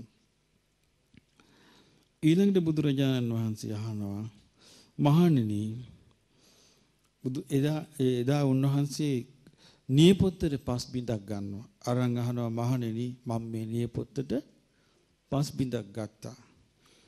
දැන් බලන්න මහණෙනි මම නියපොත්තට ගත්ත පස් බිඳද වැඩි මහා පොළවේ පස්ද. ඉතින් කියනවා භාග්‍යතුන් වහන්සේ මේ මහා පොළවේ පස් ප්‍රමාණය අති විශාලයි. නියපොත්තට ගත්තු පස් ප්‍රමාණය ඊ타ත්ම ස්වල්පයයි. මහණෙනි මේ වගේ තමයි කියන යම්කිසි කෙනෙක් චතුරාරි සත්‍ය දර්ශනය එහෙම නැත්නම් සත්‍ය ඥාණයට පැමිණිලා ධම්මස ලබාගත් අද එයා නැති කරපු දුක මහා පොළොව වගේ එයාට විඳින්න තියෙන දුක නියපොතට ගත්තු පස් ටික වගේ. මනුස්ස ජීවිතේ කරදරයේදී ඔබට මෙහෙම සිතවිල්ලක් ඉන්නේ නැද්ද? අනේ අපි මේ දුකෙන් නිදහස් වෙන්නේ කවද්ද කියලා සිතවිල්ල එන්නේ නැද්ද? මේ සිතවිල්ල එනවා. මේ සිතවිල්ල එන්නේ නැත්නම් එයාට දුක තේරෙන්නේ ඉතින් මේ සිතවිල්ල එනකොට අපිට යන්නේ නමන්නේ මොකද අපිට සමහරට අපිට දුවලා බේරෙන්න පුළුවන් නම් මේ දුකින් අපි දුවන්න පටන් ගන්න ගොඩක් කල නැද්ද? දුවලා බේරෙන්න බෑ. විඳවල ඉවරකුත් නැහැ. විඳවල බේරෙන්නත් බෑ. ඒ විඳවිල්ල තියෙන්න බෑ සීමාවක්. සීමාවක් නැහැ මේ විඳවිල්ලේ. එතකොට මේ විඳ විඳ යන දුක ඉවර වෙන්න පටන් ගන්න කවද්ද? සෝවාන් වෙච්ච දවසට. මේ උපමා ආශ්‍රයෙන් ඔබට තේරෙන්නේ නැද්ද මේ දුකින් නිදහස් වෙන්න ඕන කෙනෙකුට උත්තරේ තියෙන්නේ කොහෙද? සෝවාන් ඵලයේ තුල. සෝවාන් වීම තුල තමයි යාට උත්තරේ තියෙන්නේ. ඒ සෝවාන් වීම ඔබට කවුරු හරි කිව්වොත් මම සෝවාන් කරන්නම් බය වෙන්න එපා කියලා ඒක සැක කටයුතුයි. ඇයි? පුද්ගලික පුද්ගලිකව සෝවාන් කිරීමක් නැහැ. ඒ නිසා ඒක සැක කටයුතුයි. පුද්ගලෙන් පුද්ගලිකව සෝවාන් කරන්නේ නැහැ. එහෙනම් ධර්මයක් විසින් කරන දෙයක්. පුද්ගලික කරන එකක් නෙමෙයි. එතකොට පුද්ගලික පුද්ගලයෙක්ව සෝවාන් කරනවා නම් එහෙනම් ඒ මාර්ගඵල පුද්ගල ප්‍රතිබද්ධයි. ධර්මයට ප්‍රතිබද්ධ එකක් නෙමෙයි. ඒ කියන්නේ ඕන්න මම කෙනෙක්ව සෝවාන් කළා. ඊට පස්සේ මගෙන් සෝවාන් ඵල ලැබිච්ච කෙනෙක් තව කෙනෙක්ව සෝවාන් කළා. එයා තව කෙනෙක්ව එහෙනම් සෝවාන් වෙච්ච එක්කෙනෙක් සෝවාන් කරනවා. සෝවාන් වෙච්ච එහෙම එකක් නෙමෙයි මේක. මේක පුද්ගල ප්‍රතිබද්ධ එකක් නෙමෙයි. මේක ධර්මයේ හා බැඳිච්ච එකක්. අනුරාධපුර යුගයේ හිටියා මහා සිව කියලා හාමුදුර කෙනෙක්. උන්වහන්සේ සුවන් වෙච්ච කෙනෙක් නෙමෙයි. උන්වහන්සේ ත්‍රිපිටක ධාරී. හැබැයි උන්වහන්සේට තිබුණ අපූර්ව හැකියාවක් ධර්මයේ විස්තර කරන්න. එතකොට උන්වහන්සේ ළඟට ඇවිත් පිරිස් පැවිදි වුණා. පැවිදි වෙච්ච පිරිස් ගණන 30000ක්. එතකොට මේ 30000ම උන්වහන්සේගේ ධර්ම කතාව අහලා ධර්ම විස්තරය අහලා මාර්ගඵල ලැබුවා. එහෙනම් මාර්ගඵල උන්වහන්සේ දුන්නා නෙමෙයි. මාර්ගඵල ධර්මයේ තුල මාර්ගය තියෙනවා. අපි ඒක නිවැරදි කරගන්න ඕනේ. ධර්මයේ තුල මාර්ගය තියෙනවා. ඒ මාර්ගයේ හොඳට පුද්ගලිකට ප්‍රගුණ වුණොත් ඵලයටපත් වෙනවා. මේක හරියට තේරුම් ගත්තොත් කිසි අවුලක් නැහැ. කාටවත් තමන්ව රවට්ටන්නත් බෑ. තමන්ට වැටෙන්නේ නැහැ. එතකොට මාර්ගය කොහෙද තියෙන්නේ? ධර්මයේ තුල. භාග්‍යතුන් වහන්සේගේ බුද්ධ වචනය තුල මාර්ගය තියෙනවා. ඒ මාර්ගයේ ප්‍රගුණ කළොත් ඵලයටපත් වෙනවා. ඒකේ එතන තියෙන નિસર્ગ සිද්ධිය. નિસર્ગ සිද්ධියක් කියන්නේ ඒකේ එතන තියෙන සිද්ධ සිද්ධ වෙන්න નિયમિત එකක්. මාර්ගය හොඳට ප්‍රගුණ වුණොත් ඵලයටපත් වෙනවා කියන එක. එතකොට මේ මහසිව ස්වාමීන් වහන්සේ මේ විදිහට පිරිසට කරද්දී සමහර භික්ෂුන්ට මාර්ගඵල ලබද්දී පෙර ආත්මේ හැකියාවල් මතුවුණා.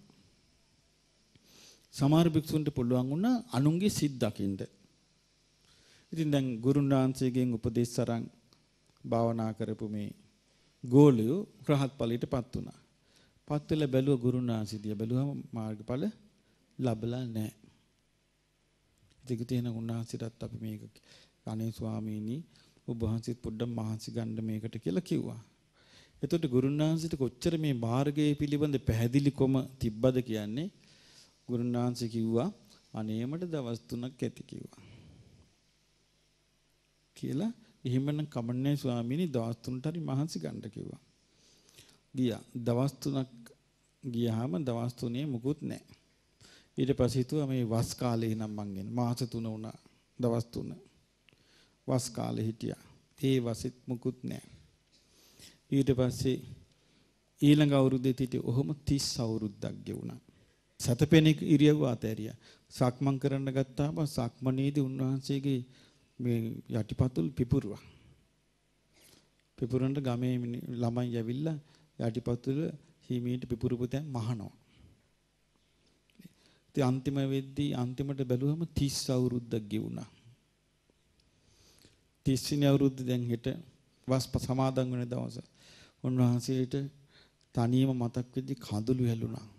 කඳුළු කඩාන වැටුණා. අනේ මම මෙච්චර 30000ක් රහත් වෙන්න ධර්මයේ කිව්වා. මට තාමත් මේක කරගන්න බැරි වුණා කියලා කඩා වැටුණා. එතකොට තවත් කෙනෙක් කඩනවා ඇහෙනවා. උන්වහන්සේ බැලුවාට පිට බලද්දී උන්වහන්සේට පේන්න එනවා දෙවි කෙනෙක්. ඒ වෘක්ෂ දේවතාව. ඇවිල්ලා ඇයි දෙවියනි අඬන්නේ? අනේ මාත් අඬන්නේ මගපල ලබ. ඇඬීමෙන් මගපල ලැබෙනවා ඇති ඔබ වහන්සේට. ඒ නිසා මටත් මේ අඬලා මාර්ගයක් ඵලයක් ලබා ගන්නයි කියලා. එතකොට උන්වහන්සේ Tamanටම අවවාද කරගත්ත මහසිව බලාපන් දෙවියොත් උඹට ඔච්චම් කරනවා. දැන්වත් ඔබ හරි විදියට මේ මහා බලාපොරොත්තු අතහැරලා උඹ උපේක්ෂාවට පත්වයන් කිව්වා. අන්නේද අහුණි මාර්ගේ. එදා පාන්දර වෙද්දී රාහත් ඵලයටපත් වුණා. එතකොට බලන්න මේ මේ ධර්මයෙන් නේද මේ ඔක්කොම කරලා තියෙන්නේ. මේක මම මගපල දෙන්නම් මගේ ළඟට වරෙන් කියන න්‍යායක් මේකේ නෑ. මම මම ඊතර වුණා මම පෙන්නන්නම් කියලා එකක් නෑ. මම පෙන්නන්නම් කියපු ගමන් සැක කරන්න ඕනේ. ඇයි මේක මම පෙන්නන්නම් කියලා කතාව කියන්න පුළුවන් භාග්‍යවතුන් වහන්සේට පමණයි. බුදුරජාණන් වහන්සේ ශ්‍රාවකයන්ට කියන මහණෙනි එන්න මං අනුශාසනා කරන්න මම මාර්ගය කියන්නම් ඒ මම මාර්ගය කියන හැටියට ගමන් කළොත් ඵලයටපත් වෙයි කියන. එතනත් එහෙමයි කියන්නේ. එතකොට එහෙනම් මෙතන ශ්‍රේෂ්ඨ මොකද්ද? ධර්මයමයි. ධර්මයෙන්මයි කළා දෙන්නේ. ධර්මයෙන්මයි ඉස්මතු කළා දෙන්නේ. එතකොට පුද්ගලයේ පුද්ගලයෙක්ට බැඳෙන්නේ කෘතු ගුණ මතයි.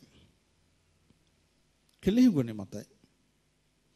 එතකොට ධර්මයෙන් පුද්ගලයෙක් යම්කිසි ගුණධර්මයක් ලබා ගනිද්දී ඒ ගුණධර්මයේ ලබා ගන්න උදව්ව ලැබෙන්නේ ධර්මෙන් නම් ඒ ධර්මයේ පෙන්වුවේ කල්යාණ කල්යාණ මිත්‍රයෙක් නම් අන්නේ කල්යාණ මිත්‍රයා කෙරෙහි කෙලෙහි ගුණ දක්වනවා. ඒක ධර්මයෙන් වෙන එකක්. ඒ ධර්මයේ නැත්තම් ඒක වෙන්නේ නැහැ. ඒකයි මේ ධර්මයේ තියෙන ස්වභාවය. එතකොට ඒ ධර්ම මාර්ගයේ තුල එහෙනම් අපි මේ නැවත නැවත ඉපදී ඉපදී යන මේ බිහිසුණු ගමන හේතු ප්‍රත්‍යයෙන් හේතුඵල ධහමට යටත්ව නම් මේක වෙන්නේ. මේ හේතුඵල ධහමට යටත්ව මේක වුණාට මේ සිද්ධිය අපි එක එක්කිනා දිහා බලන්නේ වෙන වෙනමනේ මේ අසවලා මේ සුමනා මේ සුජාතා මේ මල්ලිකා එහෙමද බලන්නේ මේ මම එහෙම බලන්නේ එහෙම අපි වෙන් වෙන් වශයෙන් බැලුවට හැමතැනම තියෙන එකම ධර්මතාවයක්. මොකද්ද? හැමතැනම තියෙන්නේ ආයතන හයක්. හැමතැනම තියෙන උපාදානස්කන්ධ පහක්. හැමතැනම තියෙන්නේ පටිච්චසමුපාදේ මේ හේතු 12ක්. ඒව තමයි කැරකි කැරකි තියෙන්නේ. නමුත් ඒවට අදාළ යම් යම් අනන්‍යතා. අනන්‍යතා කියන්නේ ඒ ඒටම හඳුනා ගන්න තියෙන විශේෂ ලක්ෂණ. ඒවා තියෙනවා. හඳුනා ගන්න තියෙන විශේෂ අනන්‍යතා තියෙනවා. ඒ අනන්‍යතා තියෙන්නේ වෙනස් වෙන ලෝකයේ තුල කරන කර්මයට අනුවයි. කර්මයට අනුව එක එක අනන්‍යතා තියෙනවා. වෙනස් වෙන එක එක ගති ලක්ෂණ හිටිනවා. එතකොට දැන් ඔන්න දැන් බලන්න දවසක් මේ උපාලි මහරහතන් වහන්සේ පිටිපස්සෙන් සක්මන් කරන සංඝ පිරිසක් බුදුරජාන් වහන්සේ වදාළ මහණෙනි බලන්න මේ ඔක්කොම විනීගරුකයි කිව්වා. ආනන්ද යන් වහන්සේ පිටිපස්සේ තව පිරිසක් සාක්මන් කරනවා. මහණෙනි අර බලන්න ඔක්කොම බහුශෘතයි. අනුරුද්ධයන් වහන්සේ පිටිපස්සෙන් තව පිරිසක් සක්මන් කරනවා. මහණෙනි අර බලන්න මේ පිරිස ඔක්කොම දිවස්ලාභින්. සාරිපුත්තයන් වහන්සේ තව පිරිසක් සක්මන් කරනවා. මහණෙනි අර බලන්න අර පිරිස ප්‍රඥාවන්තයි. මොග්ගල්ලාන මහරහතන් වහන්සේ පිටිපස්සෙන් තව පිරිසක් සක්මන් කරනවා. මහණෙනි අර බලන්න අර පිරිස ඉරිදිලාභින්.